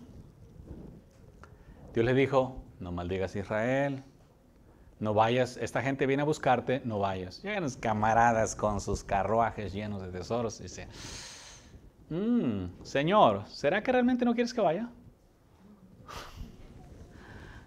Espérame, camarada, ya te dije que no lo maldigas. Este amigo fue una y otra vez y Dios le cambió. Ok, ve. ¿Era la voluntad de Dios aunque Dios se la cambió? No, porque ya le había dicho su voluntad. La voluntad de Dios, si tú no sabes qué es la voluntad de Dios para ti, pregunta y te la diga y no estés queriendo cambiarla, no la va a cambiar para ti. Y si te la cambia es por tu insistencia. Y una vez que te la cambie, no va a ser su voluntad. No van a poder decir, pero tú me dijiste que fuera así, pero yo te he dicho que no. Te cumplí el deseo de tu corazón. Tengan mucho cuidado con sus oraciones insistentes. Yo sé que los cristianos enseñan que orar y orar y orar hasta que tu respuesta venga. Los cristianos tienen mucho auge en la oración. Todo lo quieren resolver por la oración, nada por hacerlo bueno. Curioso, ¿no? Jesús dijo que el mal se vence con el bien y los cristianos quieren vencer el mal con oraciones. Vamos a orar. Mis batallas se ganan de rodillas. Eh, malhechores, cuando eres malhechor y oras, ni las oraciones eran escuchadas. Pero ahí tenemos un ejemplo con el asunto de Balaam, que Dios puede cambiar su voluntad para contigo por tu insistencia en cierta oración. ¿Cuántas veces Jesús oró a que le pasaran por alto la copa? Solo una, ¿verdad? No vayan a decir que son cuatro evangelios y hay cuatro veces. Solamente una. No se la pasaron, ya no insistió. ¿Ok? ¿Ah? Era una sola. Es una sola vez que se paró allá a eso. Ajá. Esa misma noche me refiero. Pero el asunto es que se debe de orar conforme a la voluntad de Dios en, contra, lugar de orar en contra, para que Él la cambie, porque la va a terminar cambiando. Y eso no va a ser nada para tu bien. Recuerden, en esta tierra no somos esclavos de Dios, somos esclavos voluntarios y por amor. Y si Él me da su voluntad, uy, esa copita sí que va a estar media media dura, ¿no? Yo en mi caso aprendí, bueno, pues no hay opciones. Ya sé que la copa está dura, pues de una vez hay que echarle sal, ¿no?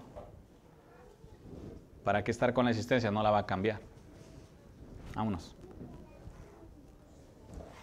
Yo entiendo el asunto de Jesús porque oró porque, como les he dicho antes, él no quería separarse del Padre. Y a él lo que le preocupaba no era, no era el morir, porque él, él, sabía que estaba vivo, ¿no? La raza piensa, oh, va a morir. No, a los chicotazos tampoco. Él lo que no quería era contaminarse de pecado, porque iba a estar separado de Dios. ¿Por cuántos días? ¿Cuánto tiempo estuvo en el vientre de la tierra? ¿Y a dónde andaba?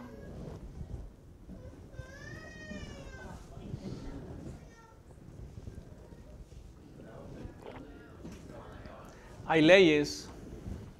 En aquellos días estaba el seno de Abraham y lo que se consideraba como el infierno. Hay leyes. Para entrar al infierno se requería ser pecador. no, era el, no se le consideraba, el tormento se le consideraba, no el infierno. Ese tormento, o la, la muerte en este caso, como que había tres. Aquí es donde fue a predicar. A los que murieron justos, pero todavía estaban bajo el poder de la muerte. Especialmente los de, los de este... En la Biblia dice del diluvio, desde Noé para atrás, que no tenían leyes. Pero hubo gente mala, que lógico ya eran malos, pero no había ley. En Moisés ya había ley, so ya no pueden hacer nada porque con la ley murieron, con la ley fueron juzgados. Pero cuando no había ley, a los que estaban bajo la muerte, por eso se llama que venció la muerte, porque se llevó cautivo a los que estaban cautivos, los de la muerte. Aquellos que creyeron, porque imagínate, llega Jesús allá al reino ese, tenía que estar contaminado para entrar ahí, pero era justo, ¿verdad? Y llega y le predica a todos los muertos, hey, he venido para llevármelos de aquí. ¿Cuántos creen que iban a creer? Primera pregunta, ¿y cómo entraste aquí? Para entrar aquí se requiere, ¿sí? Eso fue predicarles. Y los que creyeron en él se los llevó. Y los que no, pues se quedaron. Eso para mí es sorprendente, ¿no? Y la raza, la raza es bien dura, que en situaciones ahí, aún allá en el reino de la muerte, que les llegue uno y les empiece a predicar, aún allá se podían puesto incrédulos. Pero bueno, es otra, para otra prédica. Más es un puntalito. Porque nada más les pico las ideas y luego salen montones de diferentes preguntas, ¿no? ¿Están claros? ¿Ya vieron la, idea, la, la voluntad? haces que tu voluntad esté en Dios, no hagas tu voluntad. El único propósito de usar tu voluntad es para ponerla en Dios. Nada más, no para ninguna otra cosa. Después de ahí, en su mayoría, te va a ser considerado como pecado. ¿Claros?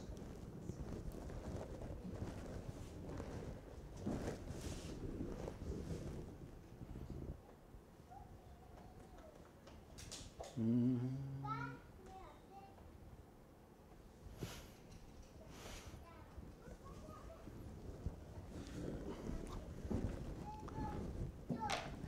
Entonces es necesario, esta vida que le estoy predicando, únicamente la pueden vivir después de haber nacido del Espíritu, no antes.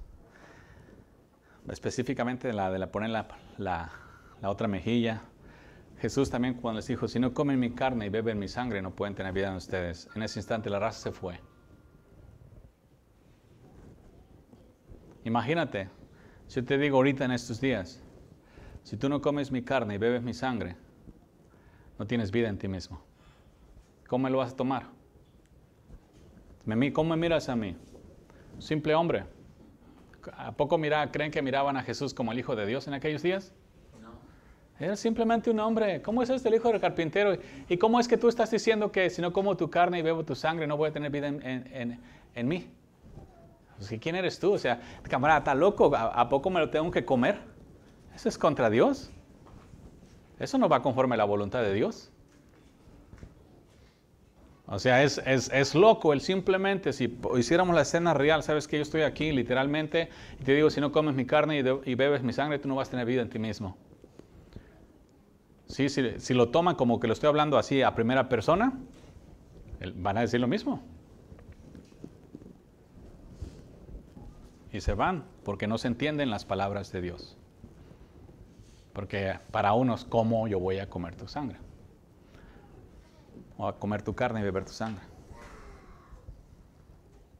¿Están claros?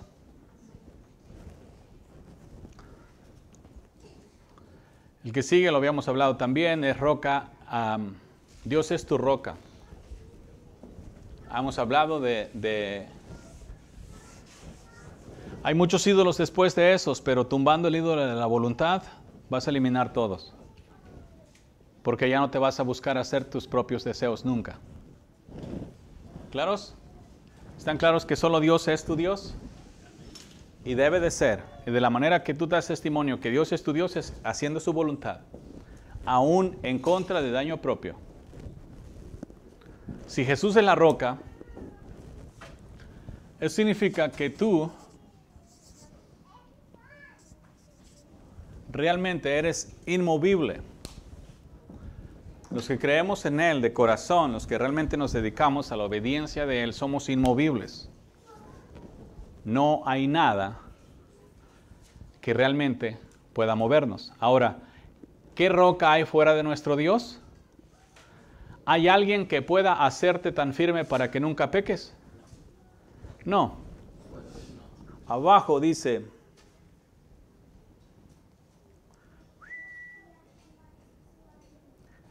versículo 32, y quien hace perfecto mi camino. ¿Qué roca hace perfecto tu camino?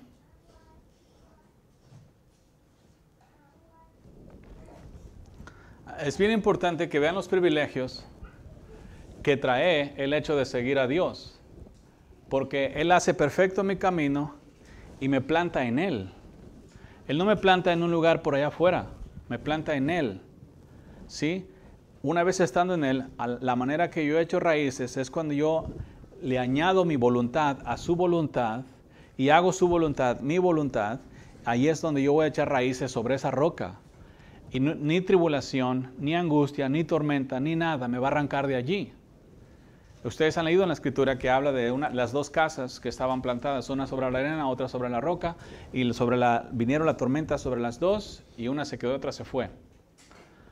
Como yo, cómo Dios me hace a mí permanente sobre la roca ante las di- diferentes tormentas, cargas, aflicciones, todo, todo tipo de tormentas. ¿Qué es tormenta en la tierra para nosotros? Todo lo que te causa alguna forma de desastre en tu vida. Para nosotros es todo interno. Entonces la roca me da de su espíritu y con el espíritu de Dios yo puedo pasar todas las diferentes males, tribulaciones, angustias y aflicciones que puedan venir en la tierra o que vengan ya sea por mano de Dios o por mano de mi prójimo. Entonces el espíritu de Dios en mí me hace estar plantado sobre la roca y todavía me hace fructífero y con raíces bien, bien profundas. Pero porque la voluntad de Dios es mi voluntad ahora.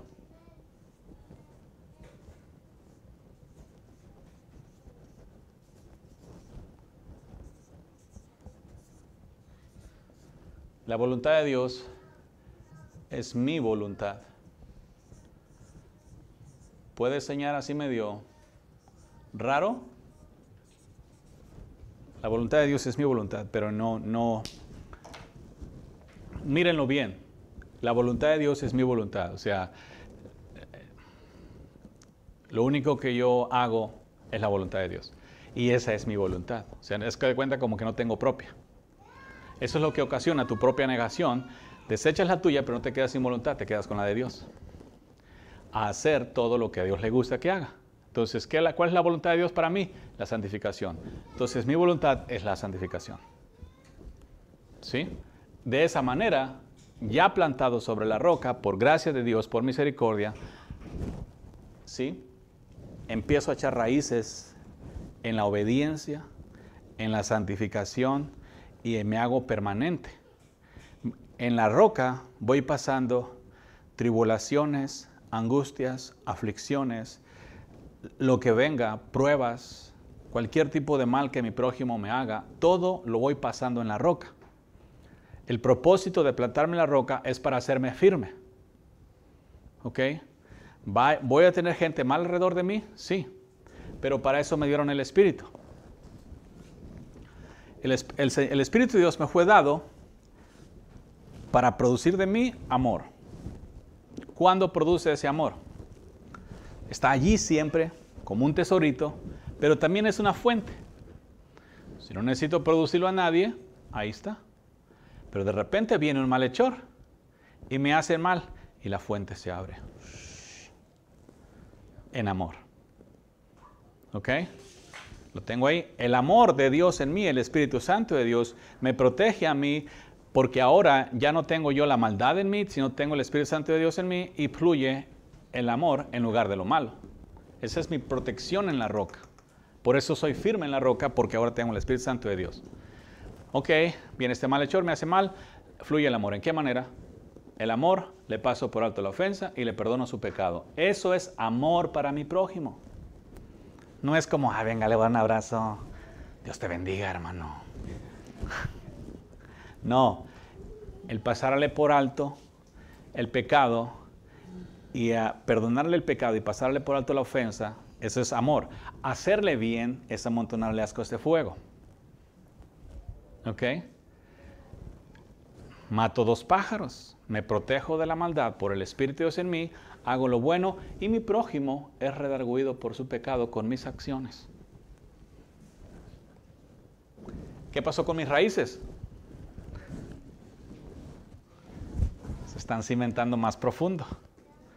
¿Qué pasa con el tronquito? Empieza a crecer. Ahí sale un frutito, ¿no? ¿Cuál? El del amor ejercitado. Pues tengo que ejercer paciencia. Me encuentro una situación donde alguien está tardando mucho o las cosas están tardando mucho en venir el espíritu fluye, el querer como el hacer, paciencia. Eres paciente. Me enraizo otra vez, me cimento, crece, frota otro frotito, ahí está la flor de la paciencia. El Espíritu de Dios en mí me es dado para que yo pueda pasar toda tribulación o angustia o aflicción. No es para que ande revoloteando como gallina. Es para pasar todas las diferentes cosas por medio de la santidad venciendo, como está escrito, con el bien al mal. Voy haciendo lo bueno porque el Espíritu está produciendo en mí el querer hacer lo bueno. ¿Lo están viendo? La voluntad de Dios se está haciendo en mí. Ya no estoy haciendo la mía, estoy haciendo la voluntad de Dios. Me estoy plantado sobre la roca porque Dios me hizo perfecto. Yo no me hice perfecto por mí solo. Me hicieron. Pero ahora que me hicieron, aprovecho la perfección recibida y empiezo a ejercer en esa perfección la voy a perfeccionar. ¿Cómo? El primero, hay que darle hasta que salga con todo mi corazón. ¿Sí? Primero puede que haber un poquito regañadientes, depende de cada persona, algunos no, pero te dedicas a que salga. ¿Ok? Los que ya cayeron en contaminación, se dedicaron a practicar mal, tienen que volver a su primer amor y empezar a fluir. Si ustedes se arrepienten de sus pecados, Tú naciste del Espíritu y te, das cuenta que estás haciendo mal y le pides perdón a Dios. Perdóname, Señor, te estoy haciendo mal. Y luego vas, si viene tu prójimo y te hace mal y te enchilas de nuevo. Te limpiaron, pero no tardaste nada en estar limpio, ni siquiera sentiste. Uy, qué rico. Oh, qué Tardó muy poquito, ¿no? Vienes, ¿sabes qué? Perdóname, Señor, he caminado mal. No lo haré más. Te levantas, te topas con tu prójimo malhechor, te hace mal, pasas por alto la ofensa. Perdonas y le haces bien. ¿Ok? Sigues otra vez, ese mismo prójimo te hace mal, pasas por alto la ofensa, perdonas y le haces bien. Y otra vez, y viene tu prójimo, te hace mal, pasas por alto la ofensa, perdonas y le haces bien. ¿Sí? Pero si ustedes son de los que tienen la idea, Señor, perdóname los pecados, ya no quiero pecar contra ti jamás. De los ever evers. ¿Ok? Ayúdame. Ya no quiero pecar contra ti, te necesito. Te levantas, vas allá, viene malhechor, ¡pum! te hace mal. Señor, no me ayudaste. Yo te pedí que me ayudaras y mira, este camarada me está haciendo mal otra vez. ¿Cómo es que yo voy a vivir conforme a tu voluntad así no puedo? No pidan a Dios que les ayude a hacer lo que ya les mandó hacer. ¿Ok? Si Dios te da un mandamiento, no diga, Señor, ayúdame a poner por obra ese mandamiento. Lo bueno es que Dios no es hombre, si no está bueno por una chicotiza. ¿Sí? Ustedes le dicen a una persona, haz esto, ayúdame cómo hacerlo. Si porque ya sabes, te mandé, porque yo sé que tú ya sabes, si tú no supieras, yo no te mando, porque yo ya sé. ¿A poco no ustedes saben cuando mandan a una persona a hacer algo, saben que sí lo puede hacer? ustedes no mandan a una persona a hacer cosas que no sabe hacer porque ya saben que no la va a hacer. es vano. Sí, pero le mandas porque sabe. Y no que te digan, no, pues ayúdeme. Los, humanos, los cristianos, mucho oran para que Dios les, ayude a hacer las cosas que Él les mandó hacer. Así ustedes no van a tener ningún resultado en sus oraciones. No vengas acá, Señor, ayúdame ya. Con el Espíritu Santo de Dios que está a su disposición, con la limpieza de los pecados, ustedes no necesitan nada ayuda más. A ver, si tienes a Dios, ¿qué ayuda más necesitas? El Espíritu Santo es la crema. Cualquier pecado contra el Padre o el Hijo es perdonado, pero contra Él no. Y este es el que tienes tú como para que digas que no puedes pasar por alto la ofensa de tu prójimo. Entonces otra vez vienes, asiste el Espíritu, te contaminaste, anduviste haciendo montones de males, vienes, pides perdón, Señor, perdóname, no lo haré más. ¿Ok? No más. Te paras, tienen que pararse. Viene tu prójimo, te hace mal, literalmente tienes que pasar por alto la ofensa, tienes que perdonarlo sin que te pida perdón, porque ustedes saben que los malhechores modernos no piden perdón. Si están esperando que sus prójimos les pidan perdón, olvídense ahí van a estar amargados por muchos días. Ya, porque cuando va a venir a pedirte perdón? Porque la mayoría de males que ellos hacen, ellos lo hacen porque crees que tú te lo mereces. Y si creen que tú te lo mereces, ¿te van a pedir perdón? No. No te, no te van a pedir perdón. pasas por alto la ofensa, perdonas aunque no te pidan perdón porque eres perdón de, perdonador de corazón y haces bien. Literalmente tienes que ir a hacerlo. Si estás esperando que las personas dejen de portarse mal contigo porque tú oraste a Dios, eso no va a suceder. Porque todos tienen mandamiento. Tú tienes mandamiento de obedecer a Dios y los malhechores qué? También. Ellos eligen no obedecer ¿Tú tampoco? La única manera que vamos a marcar una diferencia en esta tierra es cuando tú te pares a hacer las cosas diferentes. Si tú no te paras a hacer las cosas diferentes, estás haciendo la misma destrucción que todos los pecadores, aunque estés metido en una iglesia. Mi padre trabaja, yo trabajo, él te produce el querer como el hacer y tú vas y lo haces. hablando más mexicanamente, él te produce las ganas de hacer lo bueno y tú vas y lo haces. ¿Ok? Si tú no lo haces, ni siquiera ores al respecto, tampoco te pongas, ay, soy un hipócrita, Eres negligente, eres hipócrita, eres todo eso. ¿Ok? Levántate y hazlo. Y si tú no lo haces, ¿qué tienes que hacer? Ah, soy un hipócrita, no sirvo para nada, tienen razón, ya mejor no voy a seguir a Dios. ¿Te ayuda? Me levanto, órale, lo voy a hacer. Eso es cuando la escritura se refiere, siete veces cae el justo y siete veces se levanta. El justo tiene un corazón que no se rinde ante el pecado, ante una conducta mala que no se dobla ante ella diciendo, ay, no puedo dejarla. El justo no se rinde. El justo tiene un corazón diferente, que es igual en ese momento pecó, pero como fue hecho justo, es justo de corazón haciendo lo malo, pero no se rinde ante eso. Se tiene, tienen que pararse y ponerse bien diligentes y lo voy a hacer. Y lo hago y lo hago y lo hago.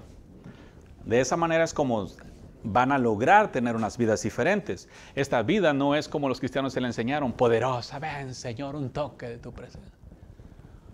Esperando que todo se arregle mientras ustedes hacen lo malo. Esta es la vida cristiana, siendo malhechores y orando, Señor, ayúdame. Ya no quiero vivir esta vida y luego va y la hace la misma vida. Esa es hipocresía. No quiero vivir esta vida y luego vas a hacer lo mismo que hacías. Eso hacía Cornelio. Cornelio vivía en santidad según lo que él sabía. Y cuando le mandan traer a Pedro, Pedro empieza a hablar y el Espíritu viene sobre Cornelio en ese rato sin que Pedro anduviera acá. Vamos a orar para que ustedes Santo Espíritu. Nada, el Espíritu viene sobre Cornelio sin nada más porque Cornelio tenía un corazón diferente. Un corazón que no se rinde ante la maldad, ni se dobla ante la maldad, ni adopta la maldad como parte de su vida, como la han adoptado los cristianos. Ustedes no adopten la maldad como parte de sus vidas. Al momento que ustedes adopten la maldad como parte de sus vidas, ya caminaron. ¿Por qué? No porque tienen que caminar, porque ustedes se doblaron ante el pecado. Y cuando ustedes se doblen ante el pecado, se acabó el corrido.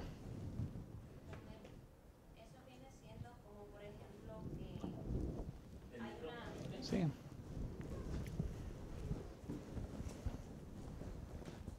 ¿Sí la están viendo? Rendirse contra el pecado ya tienen ejemplos. Los israelitas y los cristianos. ¿Qué dicen? No podemos vivir sin el pecado. Mientras estemos en esta tierra tenemos que pecar. Es gente rendida ante la maldad. Hace como unos tres años atrás o cuatro años el Señor me dijo que iban a venir días en los cuales Él iba a levantar a los que dormían, a los paralíticos y a los enfermos. Entonces, cuando yo le pregunté si era físicamente, Él me dijo que no, que era en el Espíritu. Y precisamente en estos días el Señor me estaba ah, platicando con Él en cuanto a una pregunta que le había hecho me dijo, hay muchos que duermen, hay muchos enfermos, paralíticos en, medio de, mi pueblo. Entonces, a la forma de, de, vida que estás hablando ahorita, a es lo que se refiere el Señor, de que no están caminando en el Espíritu, no están caminando conforme a la voluntad de Dios. Y también, por ejemplo, cuando le trajeron al paralítico, una de las cosas que él dijo, levántate y camina, tus pecados te son perdonados. Así de la misma forma que estás hablando ahorita a todos aquellos que están paralíticos o que están paralizados en el camino ahí pidiendo un toque del maestro o que los sane, que los ayude a poner en práctica las el vivir en el espíritu, solamente el Señor le dice, "Levántate y hazlo, porque en ti está el poder para hacerlo." Que si no lo haces es porque no quieres.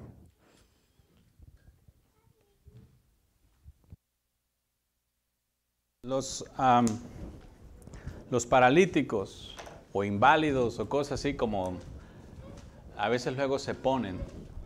En estos tiempos, lo que yo he visto es que las personas han sido, en el cristianismo y las religiones, han sido hechos paralíticos por las doctrinas de, la, de las diferentes religiones existentes. Porque las religiones son los, es un camino que lo puedo ver, pero está medio difícil de poner en palabras, porque el evangelio que les han enseñado es un evangelio muy enredado, de mucha teoría, mucha teología, mucha información, pero nada concreto. Es un evangelio muy vago, así que te hablan mucho, pero nunca te dicen exactamente lo que tienes que hacer. Pero una cosa sí les han dicho que, que se les ha quedado a la mayoría de raza que los paralizó. ¿Sí? Específicamente lo que los ha, ha paralizado es no puedo, que no puedes hacer el bien. Esa idea, doctrina, no se las, han, no se las dicen así, abiertamente, aunque hay muchos lugares que sí. Pero siempre es el mensaje a que tú no puedes hacer el bien, a que tú no puedes dejar de pecar. Esa doctrina de que no puedes dejar de pecar en diferentes maneras, no puedes dejar de pecar, eres humano, mientras estés en la carne no vas a dejar de pecar, hasta que Jesús venga vamos a dejar de pecar, eres débil, traemos el pecado original, porque el pecado entró al mundo por un hombre, también así la justicia por un hombre, pero se quedan con el pecado. Entonces esa doctrina ha paralizado la raza a hacer lo bueno. Entonces cada vez que la oportunidad de hacer lo bueno está, no lo hacen. ¿Sí? Porque, por, ¿Por qué no lo hacen? Porque creen que no pueden. ¿Ya? Porque creen que no pueden. Su fe corrupta, su fe puesta en las palabras corruptas, les impide hacer, les paraliza como el corazón, porque si tú no puedes, si tú crees que no puedes hacer algo, ¿lo vas a intentar si quieres hacer? No. Hay unos cristianos que lo intentan, ¿verdad? Aquí intentando hacer lo bueno. De hecho, ya, ya corrompieron la escritura y le pusieron intentar. Intenta hacer lo bueno. La raza es mala, de corazón, porque hay gente corrupta de corazón entrenada, ejercitada en, ser malos para instruir a los otros a ser malos. Y hay gente que está instruida por los malos y no pueden hacer lo bueno porque se sienten atados. Son atados con las creencias, con las costumbres, con las doctrinas de que no pueden hacer el bien. ¿Sí? De que la carne te gobierna. La carne te controla. Entonces, cuando tu prójimo está allí y te hace mal, inmediatamente sientes el dolor en el corazón y lo único que produce son ganas de darle una tragada. Como una señora me dice, no, yo amo a mi prójimo. Le digo, ¿usted no ama a su prójimo? No, hermano, yo amo a mi prójimo. Sí, hay algunos que quiero hacerlos como carne molida, pero sí, yo, yo amo. o sea, ese es un ejemplo de que como tú puedes creer que amas a tu prójimo, pero al mismo tiempo tienes ganas de hacerlos carne molida.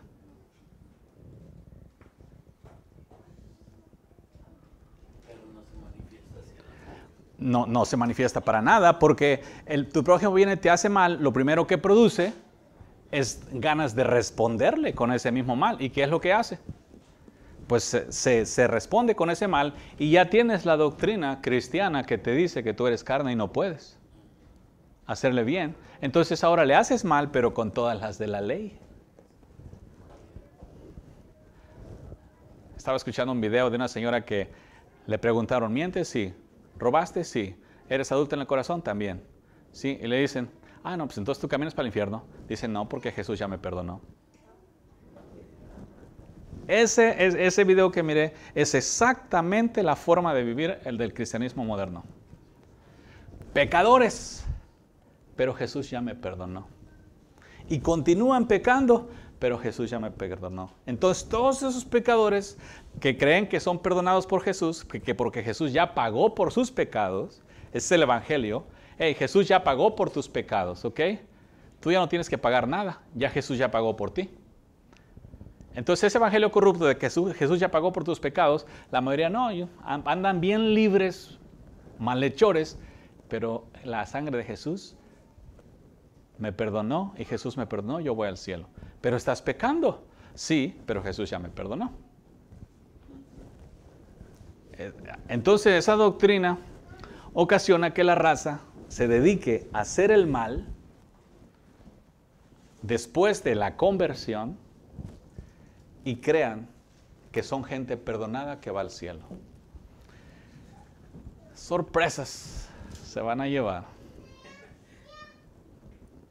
Ya, porque ningún pecador entrará al reino de los cielos. Ah, sí, cierto, ningún pecador va a entrar, pero yo ya fui limpiado con la sangre de Jesús.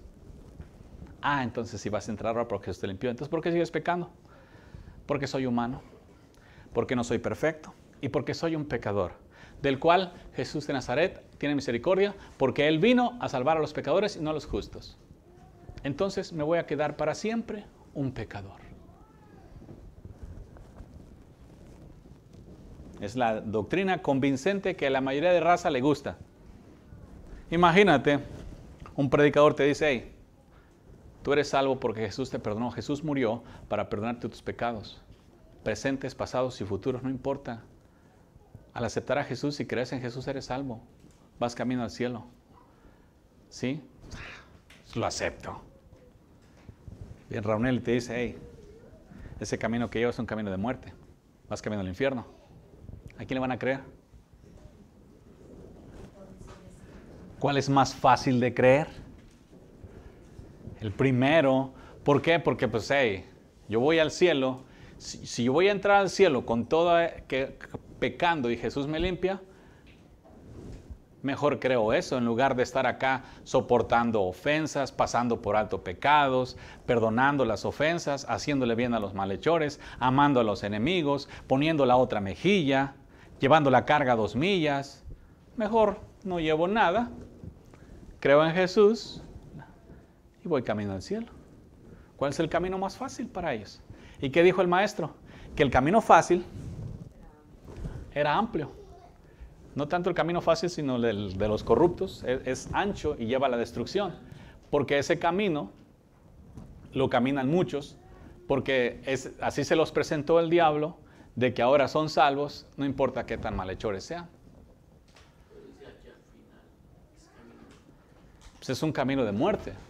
Entonces, ¿dónde quedan todos los mandamientos que Jesús de Nazaret mandó ya en el Nuevo Testamento, después de, después de que Él se fue y quedaron los discípulos con, con el Espíritu Santo de Dios? Sería para desecharse, ¿no? No tendríamos que tener ninguna de las cartas Ah, tal vez Apocalipsis sí, porque eso ya es para final de los días. Pero igual hay mucho revergüenza en Apocalipsis. ¿Qué más sería? Este, ninguna de las cartas, tal vez nada más los evangelios, el libro de Hechos tampoco, porque la mayoría son puras redargullas. Las cartas de Pablo, de Pedro, es corrigiendo la raza de los diferentes pecados que están cometiendo. Sí, entonces de ahí es donde sale el evangelio corrupto y la mayoría de gente está atada en que no pueden hacer el bien, pero al final del día no tienen que hacerlo. ¿Por qué? Porque no es por obras para que nadie se gloríe. Es una trampa, pero bien hechecita. Bien hechecita. O sea, cualquiera que no nace del Espíritu no le encuentra falla. No le encuentra falla. ¿Sí? Por eso yo siempre les digo, nacer del Espíritu. Y si tú naces del Espíritu y te apartas del Espíritu Santo de Dios, vuelves a caer en la misma doctrina. ¿Cuál va a ser más fácil para ti? ¿Estar acá tratando de vivir conforme a la voluntad de Dios sin el Espíritu ahora o simplemente creer que eres salvo? ¿Sí la ven? Entonces los resultados son diferentes y por eso mucha gente está atada en el no hacer el bien por las diferentes doctrinas que les mencioné. Específicamente, no es por obras para que nadie se gloríe. ¿Sí? Y ya como no es por obras, ese versículo lo tuercen y no tienes que hacer lo bueno tú. ¿Están claros? No se dejen engañar, aplíquense, van a toparse ustedes con muchos evangelios diferentes que les provean una forma de salvación alterna. No. No funciona así. El que crea en el Señor Jesús sí será salvo, pero va a ser salvo de qué? ¿De qué somos salvos aquí en la tierra? ¿Y cómo somos salvos de la ira venidera? Porque nos santificó, Jesús nos santifica, nos justifica, nos hace perfectos. De esa manera nos salva de la ira venidera. Entonces, por eso dice al final, dice que el que no permanezca hasta el final, será salvo, porque tenemos que permanecer en la justicia, la santidad y la perfección que Él nos dio. ¿Sí la ven? Y se tiene que, y lo bueno se puede hacer porque el Nuevo Testamento da muchos testimonios de buena conducta, el Antiguo Testamento también. Nada más que pues un solo versículo, hazte cuenta que tiene poder sobre toda la escritura. No es por obras para que nadie se gloríe. Y es verdad, porque yo no soy salvo cuando estoy en el lodo cenagoso, estoy en mis pecados, Jesús me salva cuando estoy en mis pecados. Qué buena obra hice. ¿Qué buena obra puedo hacer cuando estoy en mi inmundicia para que Jesús me limpie de mis pecados? Ninguna. Pero hay que aplicarlo a donde va. Ese se aplica cuando estás en la inmundicia, no adentro del reino de los cielos. ¿Están claros? Porque incluso aquí dice, Él hace perfecto mi camino. Eso da testimonio que el camino de Dios también es perfecto. De hecho, aquí lo miramos. En el versículo 30 dice, en cuanto a Dios perfecto es su camino. Hay versículos que dice que los perfectos andarán en Él. O sea, hay mucha información realmente si se quiere vivir sin pecado en la tierra. Y se puede. Nada más es cuestión de que literalmente quieran vivir sin pecado. Y si no,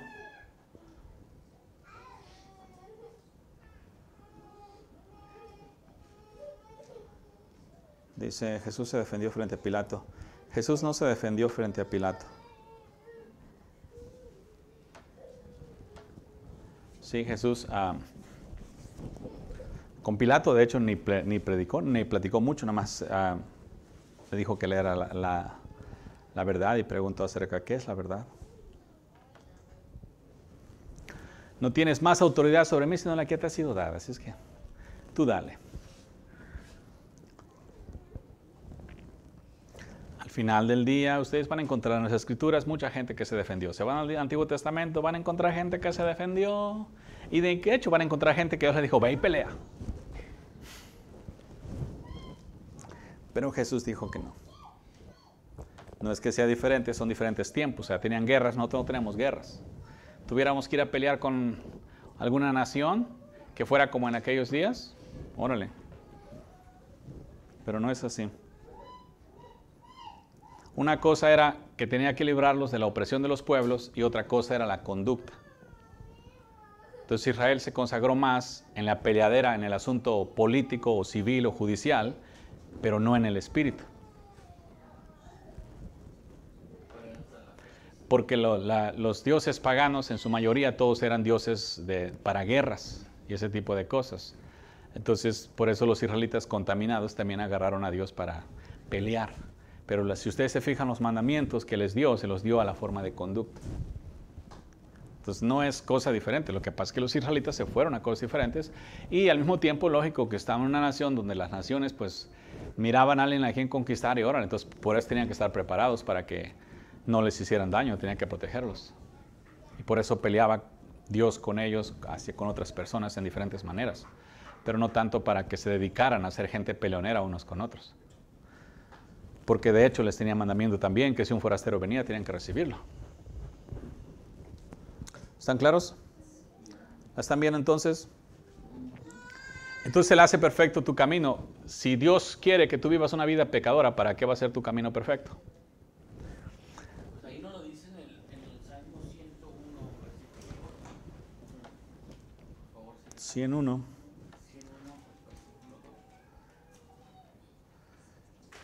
Salmo.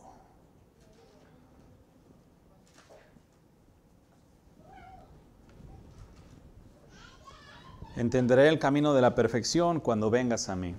Amén.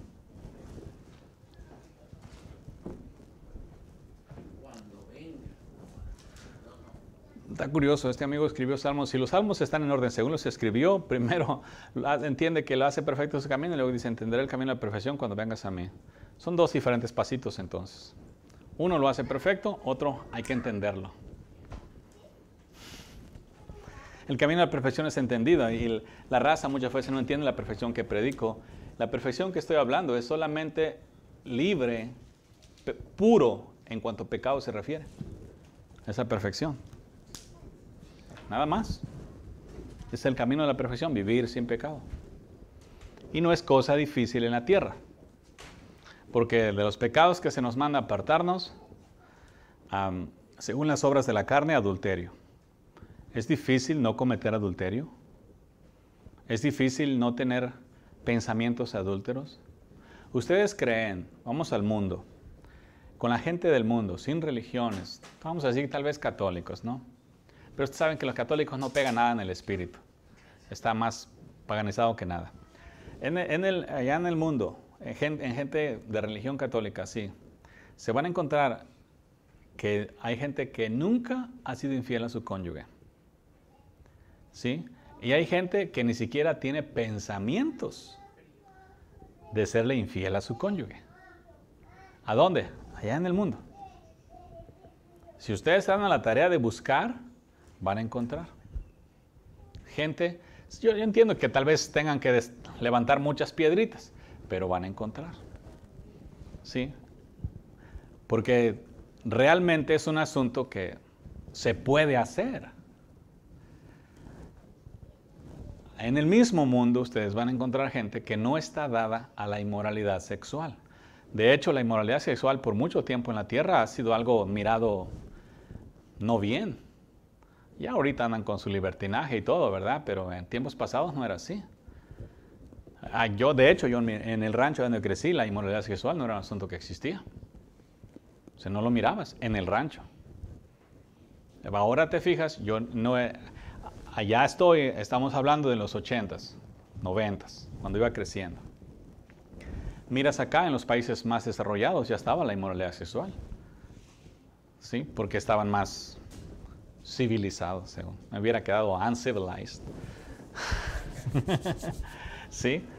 Porque así es, allá en el rancho, menos no, no encontrabas inmoralidad sexual. O sea, es, si tenías novio era de aquí a allí o tal vez más cerquita, pero pues lo más peligroso, la, la mano sudada. ¿ya? Cuando daba mano sudada es porque la relación ya estaba más a punto de casarse.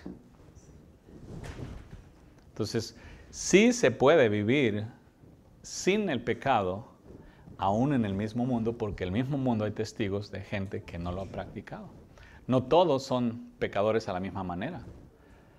Adulterio, fornicación, pleitos. El pleito se puede evitar. También ustedes van a encontrar gente en la tierra que no le gusten los pleitos. Yo fui uno de ellos, soy uno de ellos ahora. Allá cuando andaba en el mundo, a mí no me gustaban los pleitos. Nunca tuve pleitos con nadie, no peleaba con ninguno, ni argumentos, ni nada. De ninguna manera. No, no estaba buscando tener la razón en nada. Esas son cosas que no me importaban. Yo lo único que quería era vivir. ¿Sí? Contiendas menos. Disensiones. nunca. Ustedes van a encontrar que si bien hay mucha gente que le ah, cizañosa, ponzoñosa, que le gusta meter cizaña entre uno y otro, no todo el mundo es así. En el mismo mundo. Los pecados, el mundo, la gente que habita en el mundo, que no están siguiendo a Dios en, la plenitud, que andan metidos en sus religiones, son testigos de que sí se puede vivir sin pecado. Y vienen estos, los cristianos, supuestamente los seguidores de Dios, los religiosos, y ahora, pues, no se puede vivir sin pecado. Cosas que en el mismo mundo se practican. O sea, en el mundo puede la gente, no todos, lógico, pero sí pueden vivir sin diferentes pecados. ¿Están claros? ¿No estamos viendo? Eso es nada más para que le pongan atención al, al- al diario vivir y se salgan de la idea completamente al 100, que no quede nada, ¿ok? Porque si hay un pecadito por ahí que tú sientes que está medio difícil de, de quitar o que no... Los pecados funcionan funciona de esta manera. Es simplemente una acción. A veces la palabra quitar no se agarra correctamente.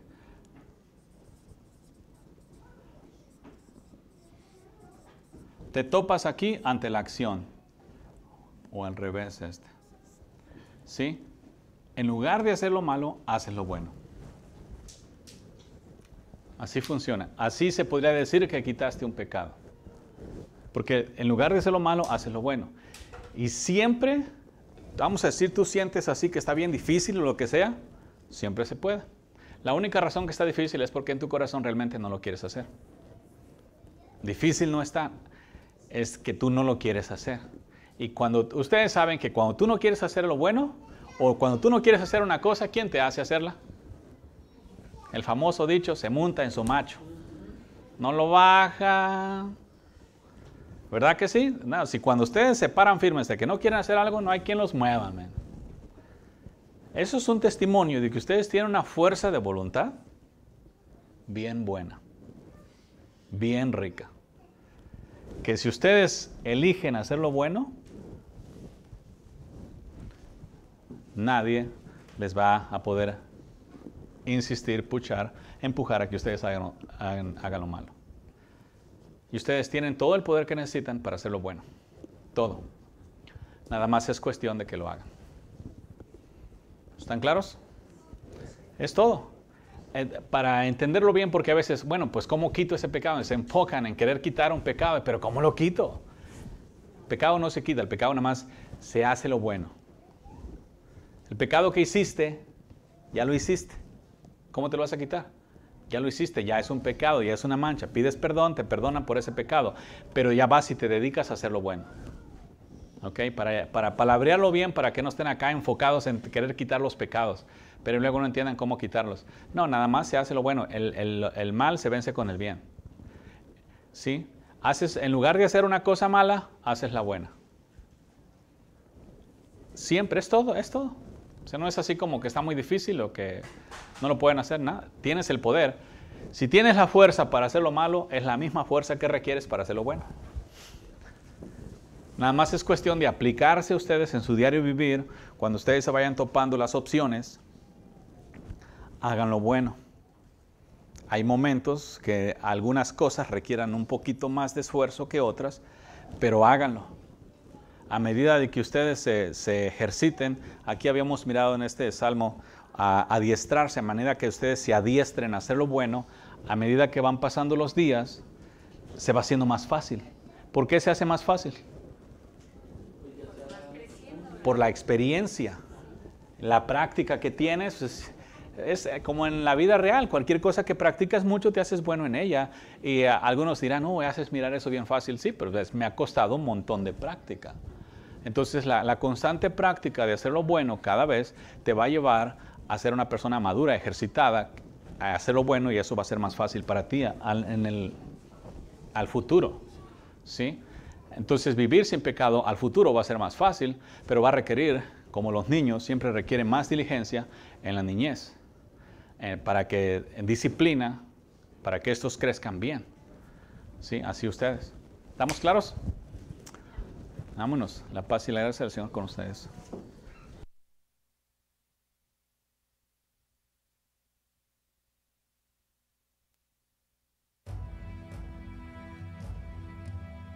Esto fue Éxodus, Escuela de Discípulos, haciendo discípulos, enseñándoles que guarden todas las cosas que el Señor nos ha mandado. Visítanos en el internet en Facebook Exodus, Escuela de Discípulos, o por correo electrónico uncamino.me.com. También visítanos en el 9 Lake Drive, en la ciudad de Round Rock, Texas, con teléfonos 512-215-1977. Y recuerda, Radio Exodus con la Escuela de Discípulos, miércoles y viernes a las 7 y a las 9 de la noche, y domingos de 11 a 1 de la tarde, Exodus, Escuela de Discípulos.